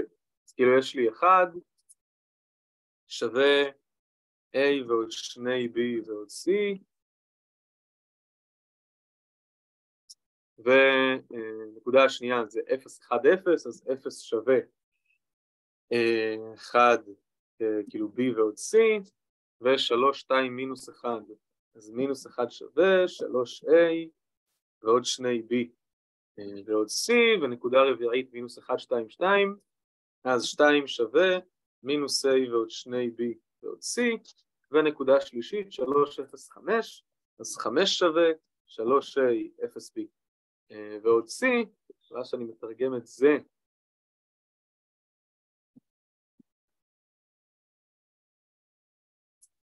במערכת, אני אקבל את המערכת הבאה. אני לא ארשום את הדרך כולה, אבל רק נרשום את לאיזה, לאיזה מערכת מגיעים, כאילו, ואז יש לו תשובה סופית, בהנחה שהפעם התשובה תהיה יחידה כמובן. אז העמודות פה, שימו לב שהעמודה החופשית הפעם מצד שמאל, כמו שגם אמרנו, זה יכול מבחינת ויזואלית להתרחש. 1, 2, 1, 0, 1, 1 כי אין לי A, 3, 2, 1, מינוס 1, 2, 1, ו-305 כפול ה-ABC, וקטור של עמודה ושלוש שורות, שווה לוקטור 1, 0, מינוס 1, 2 ו-5. ועכשיו את המערכת הזאת אלעד, למה זה חמש ב-305 זה לא אחד? אה, זה אחד, נכון, סליחה, התבלבלתי עם החמש של העמודה הנוספת. אז שוב, אולי פה גם יש לי טעות, מה שגרם לזה. אה, כרגיל, נכפיל במשוקלפת. פעם משוקלפת במטריצה. מטריצה שהיא מעניינת יותר גם בצד אה, ימין, הפעם לא מכפילים באפס. אז שלוש שורות וחמש עמודות. יש לנו 1, 0, 3, מינוס 1, 3, 2, 1, 2, 2, 0, ו-1, 1, 1, 1. לא, למדתי הכל.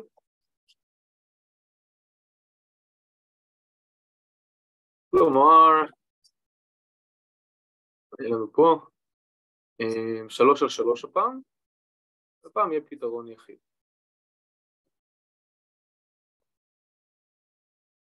לעשות שוב פעם בראש. אחד, זה יוצא עשרים, וכאן יוצא אחד ושמונה, סליחה, שיוצא שש, בהנחה שאני לא משקר, כאן יוצא שש, זה שש, וגם זה שש אם כבר אז כבר. פה יהיה לנו שתיים כפול עצמו, זה השלוש עשרה הזה, וכאן שבע, וכאן שבע, וכאן יוצא חמש. מה הוקטור שיוצא לנו פה? גם שלוש שורות, אז אחד, מינוס שלוש, מינוס שתיים ועוד חמש עשרה. זה האחד עשרה, נכון? קודם שהיה לנו. וכאן יוצא אה, שתיים, מינוס שתיים, ארבע, וכאן יוצא לנו את הסכום שלהם שזה שבע. את המערכת זו נפתור.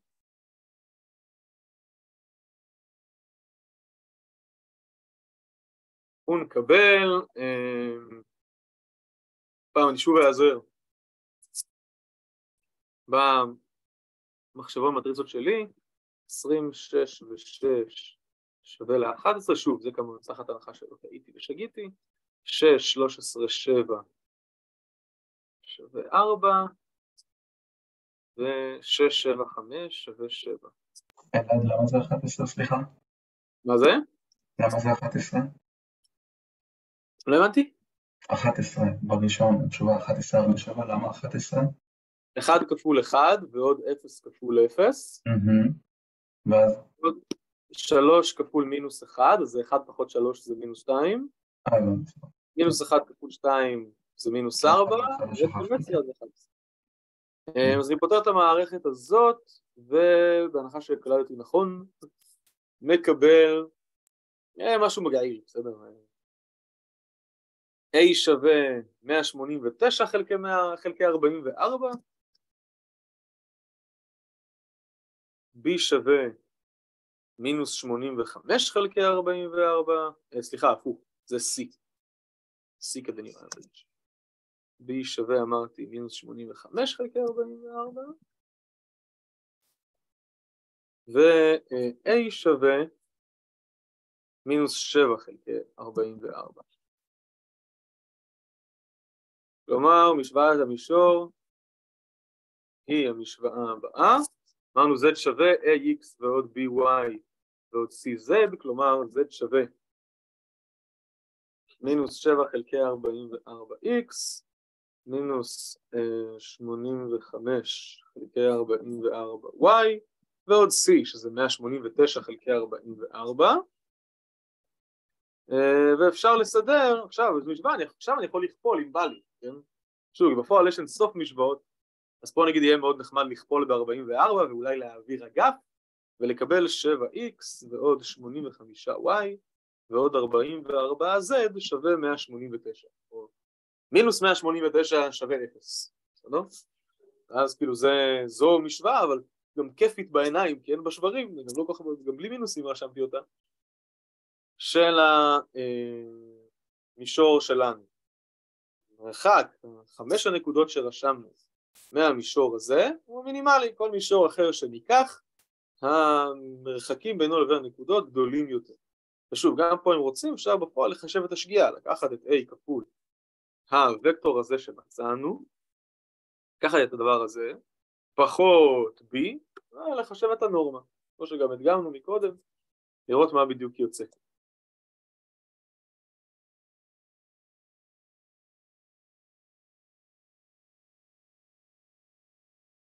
שאלות על אה, מה שעשיתי כאן?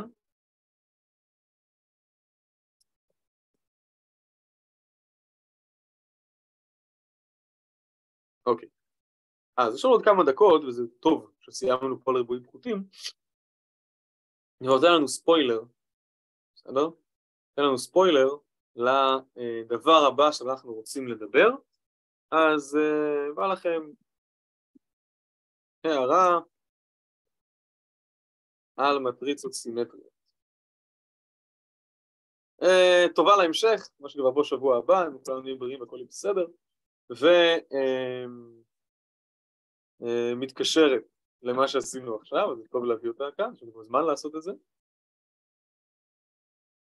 שימו לב, אני רק אולי אזכיר לכם לפני כן, מטריצה נהרית B נקראת סימטרית, אם כשעושים לה טרנספוז לא קורה כלום. היא שווה לטרנספוז שלה. למשל, המטריצה הזאת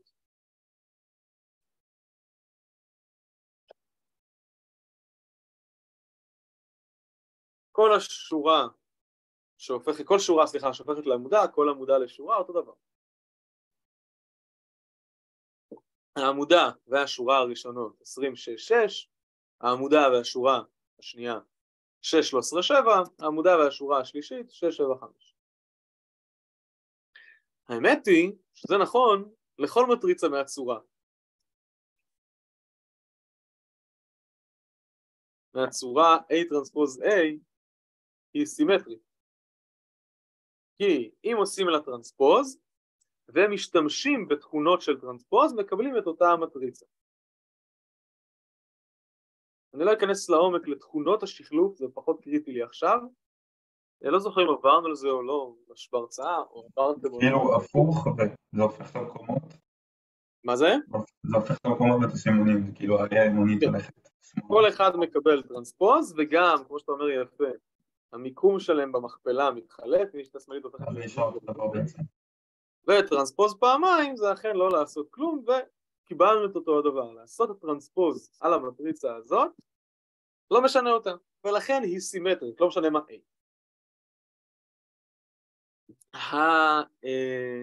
המטריצה הזאת הופיעה כל הזמן, נכון? כאילו המטריצות של הריבועים הפחותים, A טרנספוז כפול A, אז המטריצה הזאת היא תמיד סימטרית. מה היתרון של מטריצה סימטרית? אז אני רוצה לקשר את זה שוב לטרמיננטה וכן הלאה, מה שהזכרנו בשבוע הראשון לסמסטר, החל משבוע הבא זה כבר יהיה אה, טוב יותר, אז למטריצה סימטרית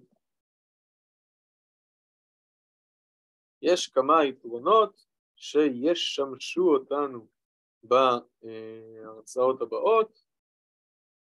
דבר ראשון, מטריצה סימטרית היא תמיד לחסינה. אני פה בסוף השיעור רק, רק מאיר את הדברים שלנו מסודר. בשיעור הבא אנחנו נחזור עליהם כמובן, וככל שצריך, ואז אני אחליט אם בא לי להוכיח את הטענות האלה למטריצות סימטריות, או שאחסון כן עושה בפני עצמו, הוא פחות מעניין לקורס, וכבר נתקדם הלאה אל הדברים הבאים. היום ראיתם חלק מהטענות על מטריצות שכאילו שקורס קודם הוכחנו, למשל שכל AX הוא אה, צירוף ליניארי של העמודות, ודברים אחרים פחות הוכחנו, הכל כמובן אה, תלוי בזמן שיש לנו. הדבר השני שאני רוצה לומר על סימטרית, הערכים העצמיים של מטריצה סימטרית הם תמיד ממשיים. יש מטריצות שעושים את מה שנקרא פולינום אופייני, טרמיננטה וזה, שוב, כמו שגם יצא לנו לראות בעזבו קורס קודם, בסמסטר הזה לפני כארבעה שבועות, ואחר כך פולינום אין לו פתרונות. והערכים עצמיים הם רק מרוכבים. למטריצות סימטריות, שוב, למה? אולי נסביר בפעם הבאה. למטריצות סימטריות זה לא קורה, הערכים העצמיים שלהן הם תמיד ממשיים, והדבר השלישי שאני רוצה להעיר על מטריצות סימטריות, זה כי אולי מתקשר גם למה שיצא לנו בקורס הזה ולא רק דברים מהקורס הקודם, הוקטורים העצמיים במטריצה סימטרית של ערכים עצמיים שונים הם תמיד אורתוגונליים. אם V1 ו-V2 וקטורים עצמיים של ערכים עצמיים שונים, שוב כשהמטריצה היא סימטרית, של מטריצה סימטרית, אם כבר כבר, הם אורתוגונליים. הכפלה של V1 ו-V2 יוצאת X.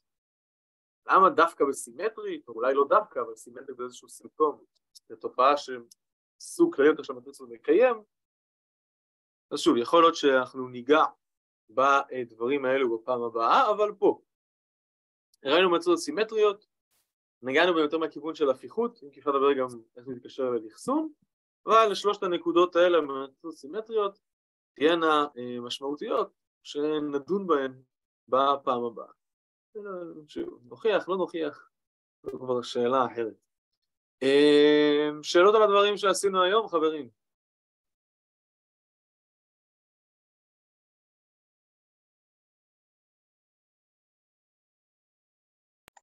אלא תודה רבה לך. אוקיי, אז אם יש שאלות אנחנו יכולים לסיים. מקווה שאתם מרגישים טוב והכל בסדר. תודה רבה. שיהיה לכם המשך יום נעים. תודה רבה אלעד, היה חזק. בריאות תבואו כל יום, מי שבא מחר לאינפי, מי שבא להסתברות, אולי ניפגש, אם לא, אז ניפגש כאן שוב בשבוע הבא. עד אז שיהיה לכם צ'או וביי ביי. תודה. אהלן. תודה.